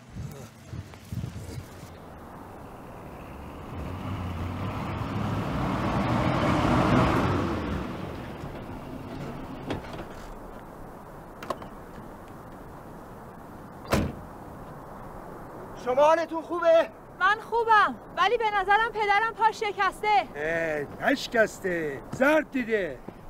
بیاین سوار ماشینشی بریم درمونگاه درمونگاه نمی‌خواد. من درمونگاه لازم ندارم. بابا جان دکتر باید پای شما رو ببینه بعد جوری زمین خوردیم من درمونگاه نمیام. شما مثل من از دکتر رو در موقع بعدتون میاد ها؟ بله. برعکس دارم که تو میگی الا بلا ببرم پیش دکتر. من اگه دست خودم باشه این قرصای فشار خون رو قلبم نمی‌خورم. هیچ طوری هم نمیشه. من اینجا یه پیرزنی رو می‌شناسم اسمش نن صفوراست. دستش واسه ضرب دیدگی و رگ به رگ شدگی شفاست. می‌خوای بریم پیشون آره نن سفرا خیلی خوبه. پس میشناسینش نه؟ خب خوب نن سفرا نن سفراست دیگه. دکتر که بهتره. من به نامرم دست نمی‌زنم. اشکال نداره. من محرمم. شما چند سالتونه؟ هفتاد. منم هفتاد سالم. ولی کوه نمیرم. آدم هفتاد ساله پلم که بالا میره باید دقت کنم. خب حالا الان یه معجون میمالم. میبندم می‌ذارم تا فردا صبح بمونه. بعد برو هموم و تموم. او کلی بازی در نیار. از جا در رفته بود. جا افتاد. تموم شد. دیوان بیگی همانطور که داشت از محو شدن درد مچ پایش کیف می کرد به این فکر افتاد که بهرام کیانی چه اسم باشکوه و با هیبتی است و چقدر جالب می شود اگر اسم داماد خانواده دیوان بیگی بشود کیانی و اسم فامیل بچه های آذر بشود کیانی. بعد به این فکر افتاد که آذر پدر سوخته به همین سرعت این مرد را از کجا پیدا کرده و حالا که پیدا کرده چرا خودش را اینقدر بی نشان می دهد. کاری نمی‌کنم آقا آتیش هست و منقل دست خانم درد نکنه. دیوان بیگی با اصرار بهرام کیانی را به خانه برد تا چلو کباب بخورد و مراقب بود تا آذر هم از خوردن کباب پرهیز نکند. این بعد کجا فهمیدی من می‌خوام چی بگم؟ از بس که این فرهاد بدجنسه دهنتون حالا ماجراش چی بوده؟ ما بچه بودیم خب همجوری دور هم جمع بودیم. بعد بابا هم نبود. اگه بابا بود که این جرئت نمی‌کرد این کارا رو بکنه. بعد من کباب میذاشتم اینجوری گوشه بشقاب. خب برنج خالی میخوردم. بعد چرا برنج خالی می‌خوردی؟ خب آخه کباب خیلی دوست داشتم. می‌خواستم آخر بخورم. بعد فرد من گفتش که گلی اون بالا رو نگاه کن. بعد منم هی نگاه کردم. بعدش برگشتم دیدم هیچی نیست. ده کباب هم نیست داره میدوه. خاله پری هم دنبالش. یه طرف کباب از این ور دهنه آذر اول از ترس پدرش و به خاطر اینکه او علم شنگه راه نیندازد کباب خورد. ولی بعد از لغمه اول فهمید که توی یک سال و نیم گذشته خودش را از چه نعمتهایی محروم کرده بود و به چه زندگی ملالآور و بیهوده‌ای تن داده بود. یه کارایی می‌کنه آدم رو کلش اسفناج سبز میشه. تو شرکتش رو گوسفند کشته بودن. کله گوسفند رو گذاشته بود پایین صندلی جلوی ماشین. یه دفعه من نمی‌دونستم اومد دنبالم بعد نشستم تو ماشین. یه دفعه دام خورد به یه چیزی نگاه کردم. دیدم که گوسفنده داره بر رو بر منو نگاه شهدخت توی این دو روز خیلی فکر کرده بود. خیلی سعی کرده بود با موضوع کنار بیاید. اما نمی توانست فکر کرد باید با اسکندر حرف بزند. اسکندر از قدیم سنگ صبور و مشاور مخصوص شهدخت بود اما هیچ کس از بچه های شهدخت یا شوهرش این را نمی‌دانست. پری از بچگی اسکندر را تحویل نگرفت اما شهدخت فرق می کرد. به نظر شهدخت اسکندر یک جور عقل و درایت روستایی و طبیعی داشت و خیلی از اوقات عقلش به جایی می رسید که عقل خود شهدخت نمی رسید. اسکندر بسته دیگه مشتری نداره. سامی بیا این بلالا رو ببر شاد کسی بخوره. میگم خانم خوشحال اینها.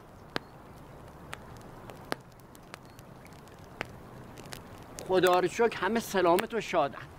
خدا رو شکر. ولی بچه آذر. زبونم لال طوری شده. اسکندر آذر از شوهرش جدا شد. اکه هی. میگم ای آذر خانم آذر خانم سابق نیست. این شوهر آذر خانم که مرد خندروی بود خوب بود. یعنی خوب نبود. نه اسکندر مرد نبود. اسکندر همان موقع بو برد منظور شهدخت از اینکه گفت مرد نبود چی بود؟ اما ترجیح داد خود را به خریت بزند. میگن زن و مرد مثل کفش پا میمونن. ممکن ظاهر خوب و قشنگی داشته باشن ولی بعضی وقتا پا طرف می‌زنه. ما خودم یه خارزاده دارم خانم. رفت زن گرفت. همه می‌گفتن خوشبال محمد تقی. عجب زن خوبی گرفته. چپ می‌رفتم می‌گفتن زن محمد تقی راست می‌رفتم می‌گفتن زن محمد تقی. تا گرو خبر شده زنش طلاق داده. ای داد ای بیداد اینا خودم خوب بودن. چطور شده؟ سرتون در نیارم خانم. کاشف عمل اومد. خانم دو شخصیتی بود. دو شخصیتی؟ بله خانم. خوبش ما می‌دیدیم. یعنی به فکر فامیلا خوبه نشون می‌داده. ولی تو خونه محمد تقی چی بگم خانم؟ گلاب رود ای محمد تقی کتک می‌زده. به جون شما. بدبخت به هیچ کس هم هیچی نمی‌گفت. دو سه سالم طاقت برد آخرش طاقتش داغ شد. رفت طلاقش داد. ولی باز خدا شد بچه دار بودم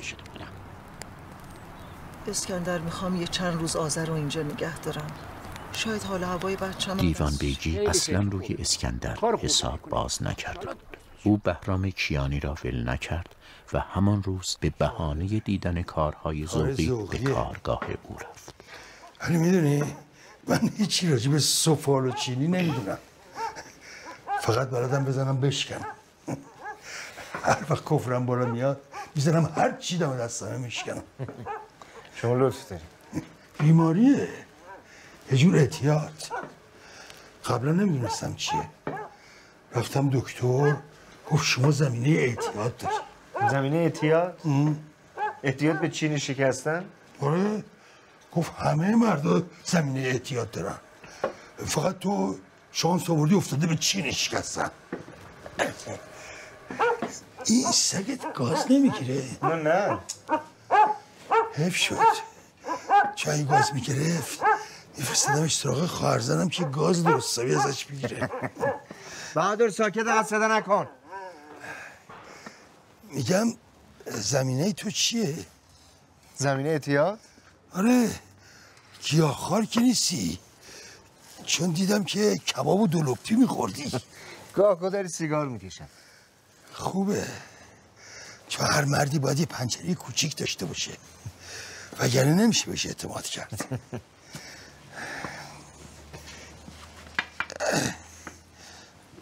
راستش من نیومدم اینجا که راجع به چینی و سفال باید صحبت بکنم.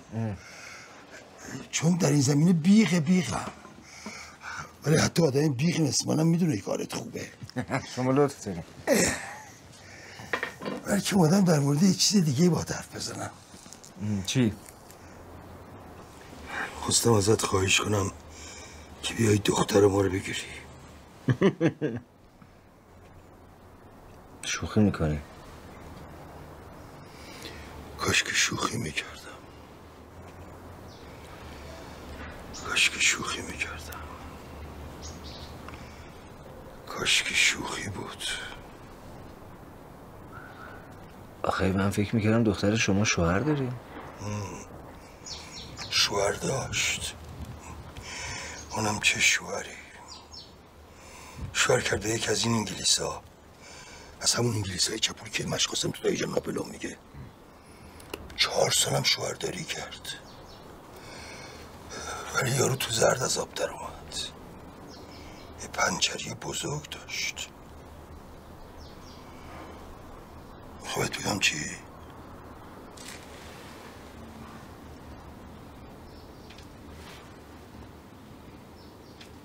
نه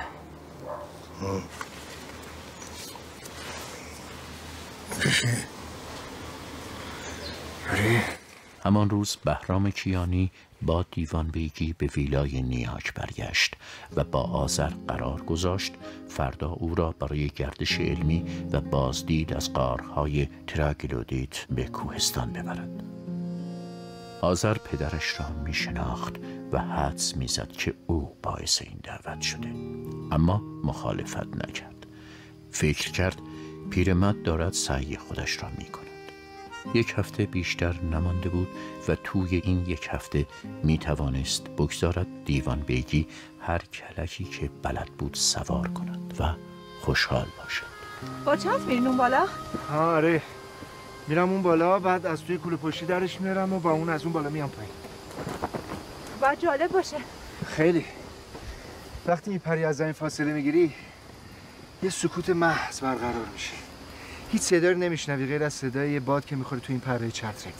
یه بیوزنی کامل خیلی باحال بچه که بودم خیلی میمدیم کوه. می‌رفتیم از کوه بالا. یه بارم افتادم پیشونیم شکست. دقت کن اینجاش هست. چیزی پیدا نیست. آذر فکر کرد اگر توی یکی از سفرهایش قبل از اینکه با فیلیپ ازدواج کند بهرام را دیده بود ممکن بود حالا خودش هم ساکن نیاک باشد و با بهرام زندگی کند. اما حالا نه. حالا دیگر خیلی دیر بود. آذر خسته بود و حوصله هیچ کس را نداشت.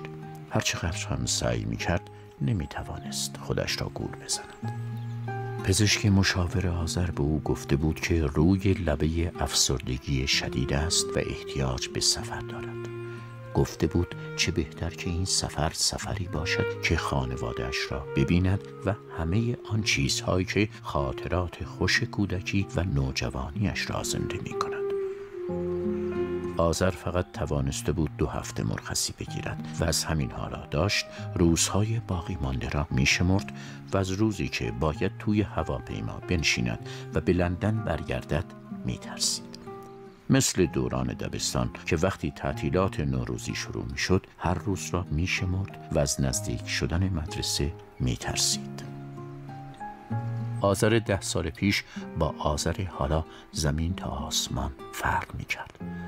ده سال پیش شنبه های لندن مهیش ترین روزهای هفته بود برای شام خوردن توی کافه هایی که اگر تابستان بود میزها را توی پیاده رو میچیدند و اگر زمستان بود زیر سقف را هم نمی توانستند گرم کنند هر بار که در کافه باز می‌شد صدای زنگی شنیده می‌شد و بعد سوزی می آمد که تن آدم را می لرزند.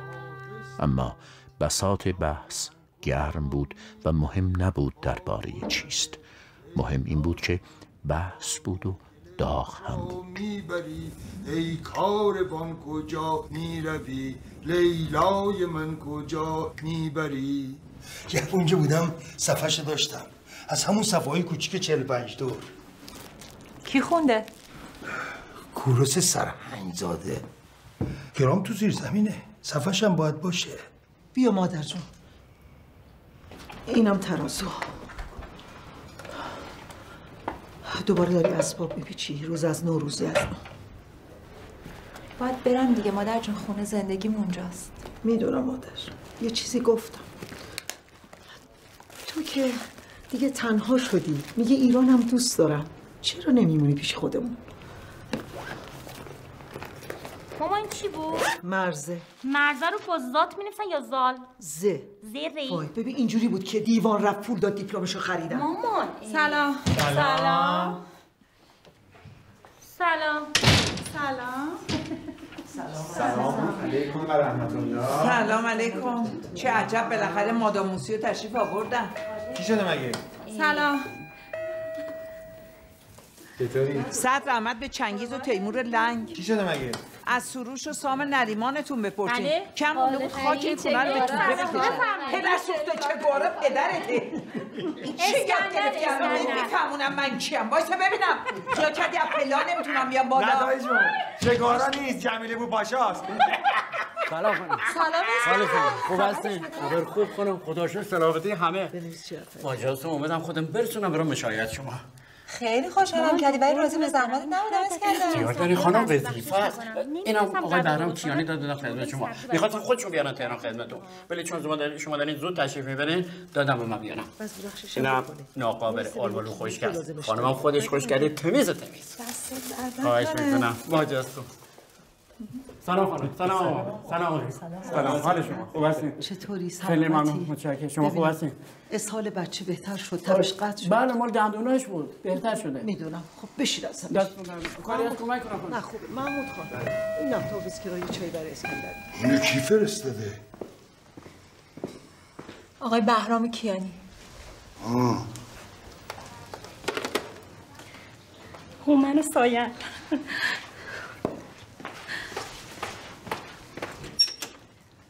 سلام سلام قربونت برم کجا بودی مادر؟ رفته بودیم یکم چیز میز واسه خاله بخریم. سلام. سلام. سلام. سلام. به همگی سلام سلام. خوبی؟ خاله من این دفعه شما رو با دقت زیر نظر داشتم دیدم بالاخره یه چیزی یادتون رفت. بگیرید بله. دنه دنه. این هم یه ماهی سفید دودی اصل ریسماندار از چهار استانبول. چقدر خوشگله. من اینو قاب می‌کنم می‌زنم به دیوار خونم نه لازم. نیست. لطف می‌کنید. این دفعه این یکی رو نوش جان میفرمایید که ماهی دودی دستازم واسهتون آوردیم. بله بفرمایید این کار من سایه خیلی عالیه بچه خوشگله نه؟ بله دستتون درد نکنه. دیدی گفتم خوششون بله بله. حالا که همه دارن سوقاتی میدن بذار ما هم عقب نمونیم. قابل شما رو نداره. این همه زعفران این که مصرف سه چهار سال منه. دیگه گفتیم سه چهار سال بمونید دیگه نیاد این هم یه اتکلون جدید برای فیلیپ. بهش بگو دفعه دیگه خودش نیاد از سوقاتی دست خبر در نیست. نکنه فرناز جون. خیلی ممنون. خوشحالم که با شما بودم. خوشحالم که فرصتی شد تا دوباره دور هم جمع بشیم. من این سفر مدیون دکترم هستم که گفت بیام و شماها رو ببینم. اما حالا می‌خوام یه چیزی بگم که می‌دونم از شنیدنش ناراحت میشی. اما دلم نمی‌خواد که ناراحت بشی. اومدن من به خاطر این بود که یه دوره افسردگی داشتم. یه افسردگی طولانی. که به خاطرش قرص میخوردم و دائم اشک میریختم. دست خودم نبود. می‌خواستم یا نمی‌خواستم اشکم میومد من و فیلیپ از هم جدا شدیم. من از فیلیپ جدا شدم چون که نمی‌تونستم دیگه باش زندگی کنم. دلیلش هم اگه بخوایم بدونین نمی‌تونم بهتون بگم. فیلیپ برای همیشه از زندگی من رفت بیرون. الان بعد از چهار ماه خیلی بهترم. از وقتی اومدم اینجا شماها رو دیدم خیلی بهترم. اینا به خاطر وجود شماست. دارم با دلگرمی از اینجا میرم. دفعه دیگه که برگردم قول میدم از اینم بهتر بشه. خاله جون اصلا اهمیتی نداره قربونت برم. تو که چیزی رو از دست ندادی. یعنی چیزی نبوده که ارزش نگه داشتنش رو داشته باشه. به جاش تو یه چیزی دیگه دست دیگه شدی. ای داده بیداد. آقا. الو الو الو. الو سلام. سلام. این چیه فرستادی؟ چی فرستادم؟ یه کتاب فرستادم سورپرایز بشه دیگه. سورپرایزتی نه؟ نه بابا منظورم اینه که وقتی میام فرودگاه سورپرایز بشه. شما خودتون مگه نگفتین یه کاری بکنم که انتظار نداشته باشه من تو فرودگاه ببینم. هنوز تو خونه ای صدای بهادر میاد. نه بابا دارم راه میفتم راه میفتی؟ الان ساعت شیش و نیمه. شیش و نیمه؟ خب شیش و نیم باشه. از اینجا تا تهران یه ساعت راه از امروز جمعه است. تا تهرون رابندونه بهادر خفه شو. تو خوابیده بودی آره. بود که جمعه است. آخه من تو کارگاه جمعه شنبه ندارم که. هر موقع دلم بخواد کار می‌کنم. من خودم می‌رسم خیالتون راحت باشه. تو خوابیده بودی. نه بابا دارم میام. تو خوابیده بودی. پرویز کجایی؟ دارم میام.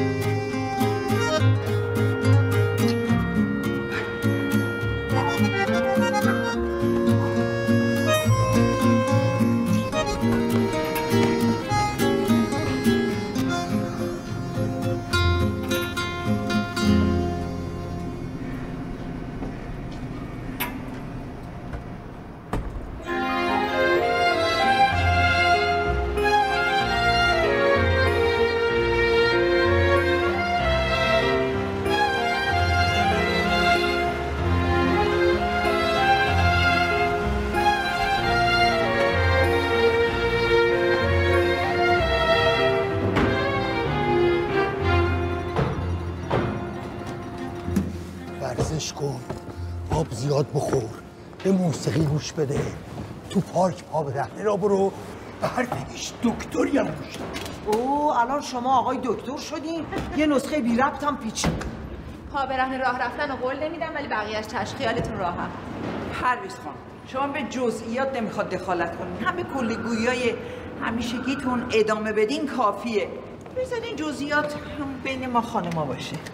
کلگویی همیشه. ما مثلا چیه؟ اما اوضاع خاورمیانه و بحران سرمایه‌داری و گرم شدن کره زمین از این چیزا. آذر جون اولین کاری که می‌کنی به پوستت رسیدگی کن. برو پیش دکتر پوست که از همه چی واجب تره نه بابا به نظر من که اول یه خر میلیونر پیدا کن زنش. چی منظور چیه؟ منظور نداشتم به قول بابا پیشنهاده. خب فرها جان تو خودت پیشنهادی نداری؟ آها چرا به نظر من بیا ایران بمون؟ آره خاله خیلی باحال میشه. یا تو برگرد پیش ما یا من و هومن میایم پیش شما. شما خیلی بیجا می‌کنی. شما از اینجا تکون نمی‌خوری. همین یه دوری برای کل خانواده دیوان بگی بسته. آذر قصه نخوری خوب چرا دادی گریه می‌کنی؟ چی دلش پره؟ یاد این افتادی که سایه بخواد ازدواج کنه بره. نه بابا واقعا برای این دارن گریه می‌کنن؟ بله به خاطر تو گریه می‌کنن. بابا گلی آخه اینجا جای گریه کردنه. بله اتفاقا همینجا جای گریه کردنه. اینجا خیلی گریه می‌کنن. شما نگران نباش. خب گریه کن گریه کن. سلام. ببخشید بالا میرین یا پایین؟ حالا میریم بفرمایید. آقای دیوان بیگی. سلام. سلام. عرض شما بفرمایید ما زیادیم. چرخم داریم بعدا میاییم. بفرمایید بفرمایید. استاد ما این فیلم در تاریخی رو اتفاقا همین هفته پیش دیدیم. انصافا که خیلی فیلم خوبی بود. شما هم عالی بودین. خیلی متشکرم عزیزم. خیلی ممنون. استاد خانمتون خیلی درخشان بود. واقعا درخشید. تشکر می‌کنم. خیلی متشکرم. استاد. چرا تا حالا ایشونو تو تاریکی نگه داشتین؟ آقا از حالا به بعد دیگه تو روشنایی هستن الانم اینجان. خانم شهدخت فیروزکویی دست بزنید.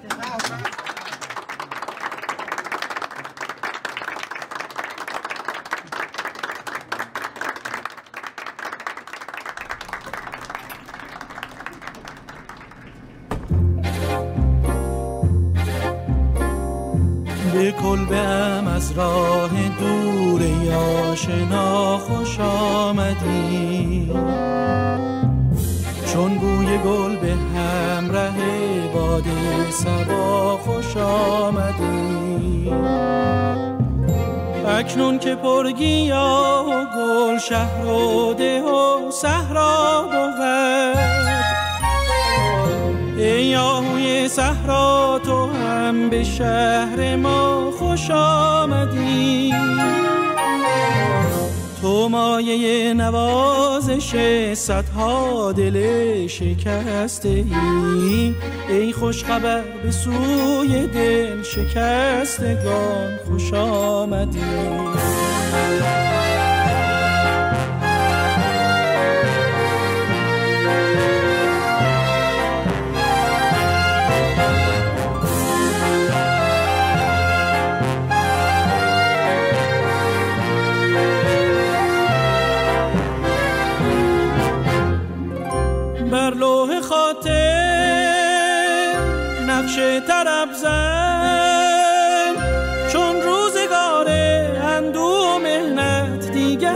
گذشته. من ام مکنم این عشق سوزان. تا کی دو رنگی دیگر مرا آب از سر گذشته. ای آهوی گریزان به آشیانم خوش آمدی فدای جان تو جانم. ای آن که مقدم تو بود گرامی. من جای گل به پایت گوهر فشانم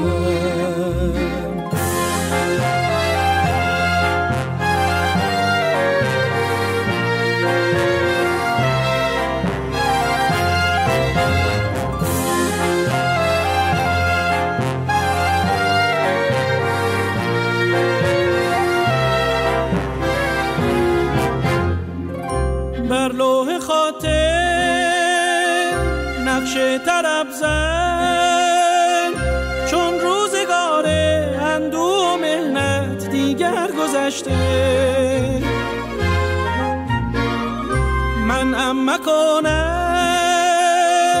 این عشق سوزان. تا کی دو رنگی دیگر مرا آب از سر گذشته. ای آهوی گریزان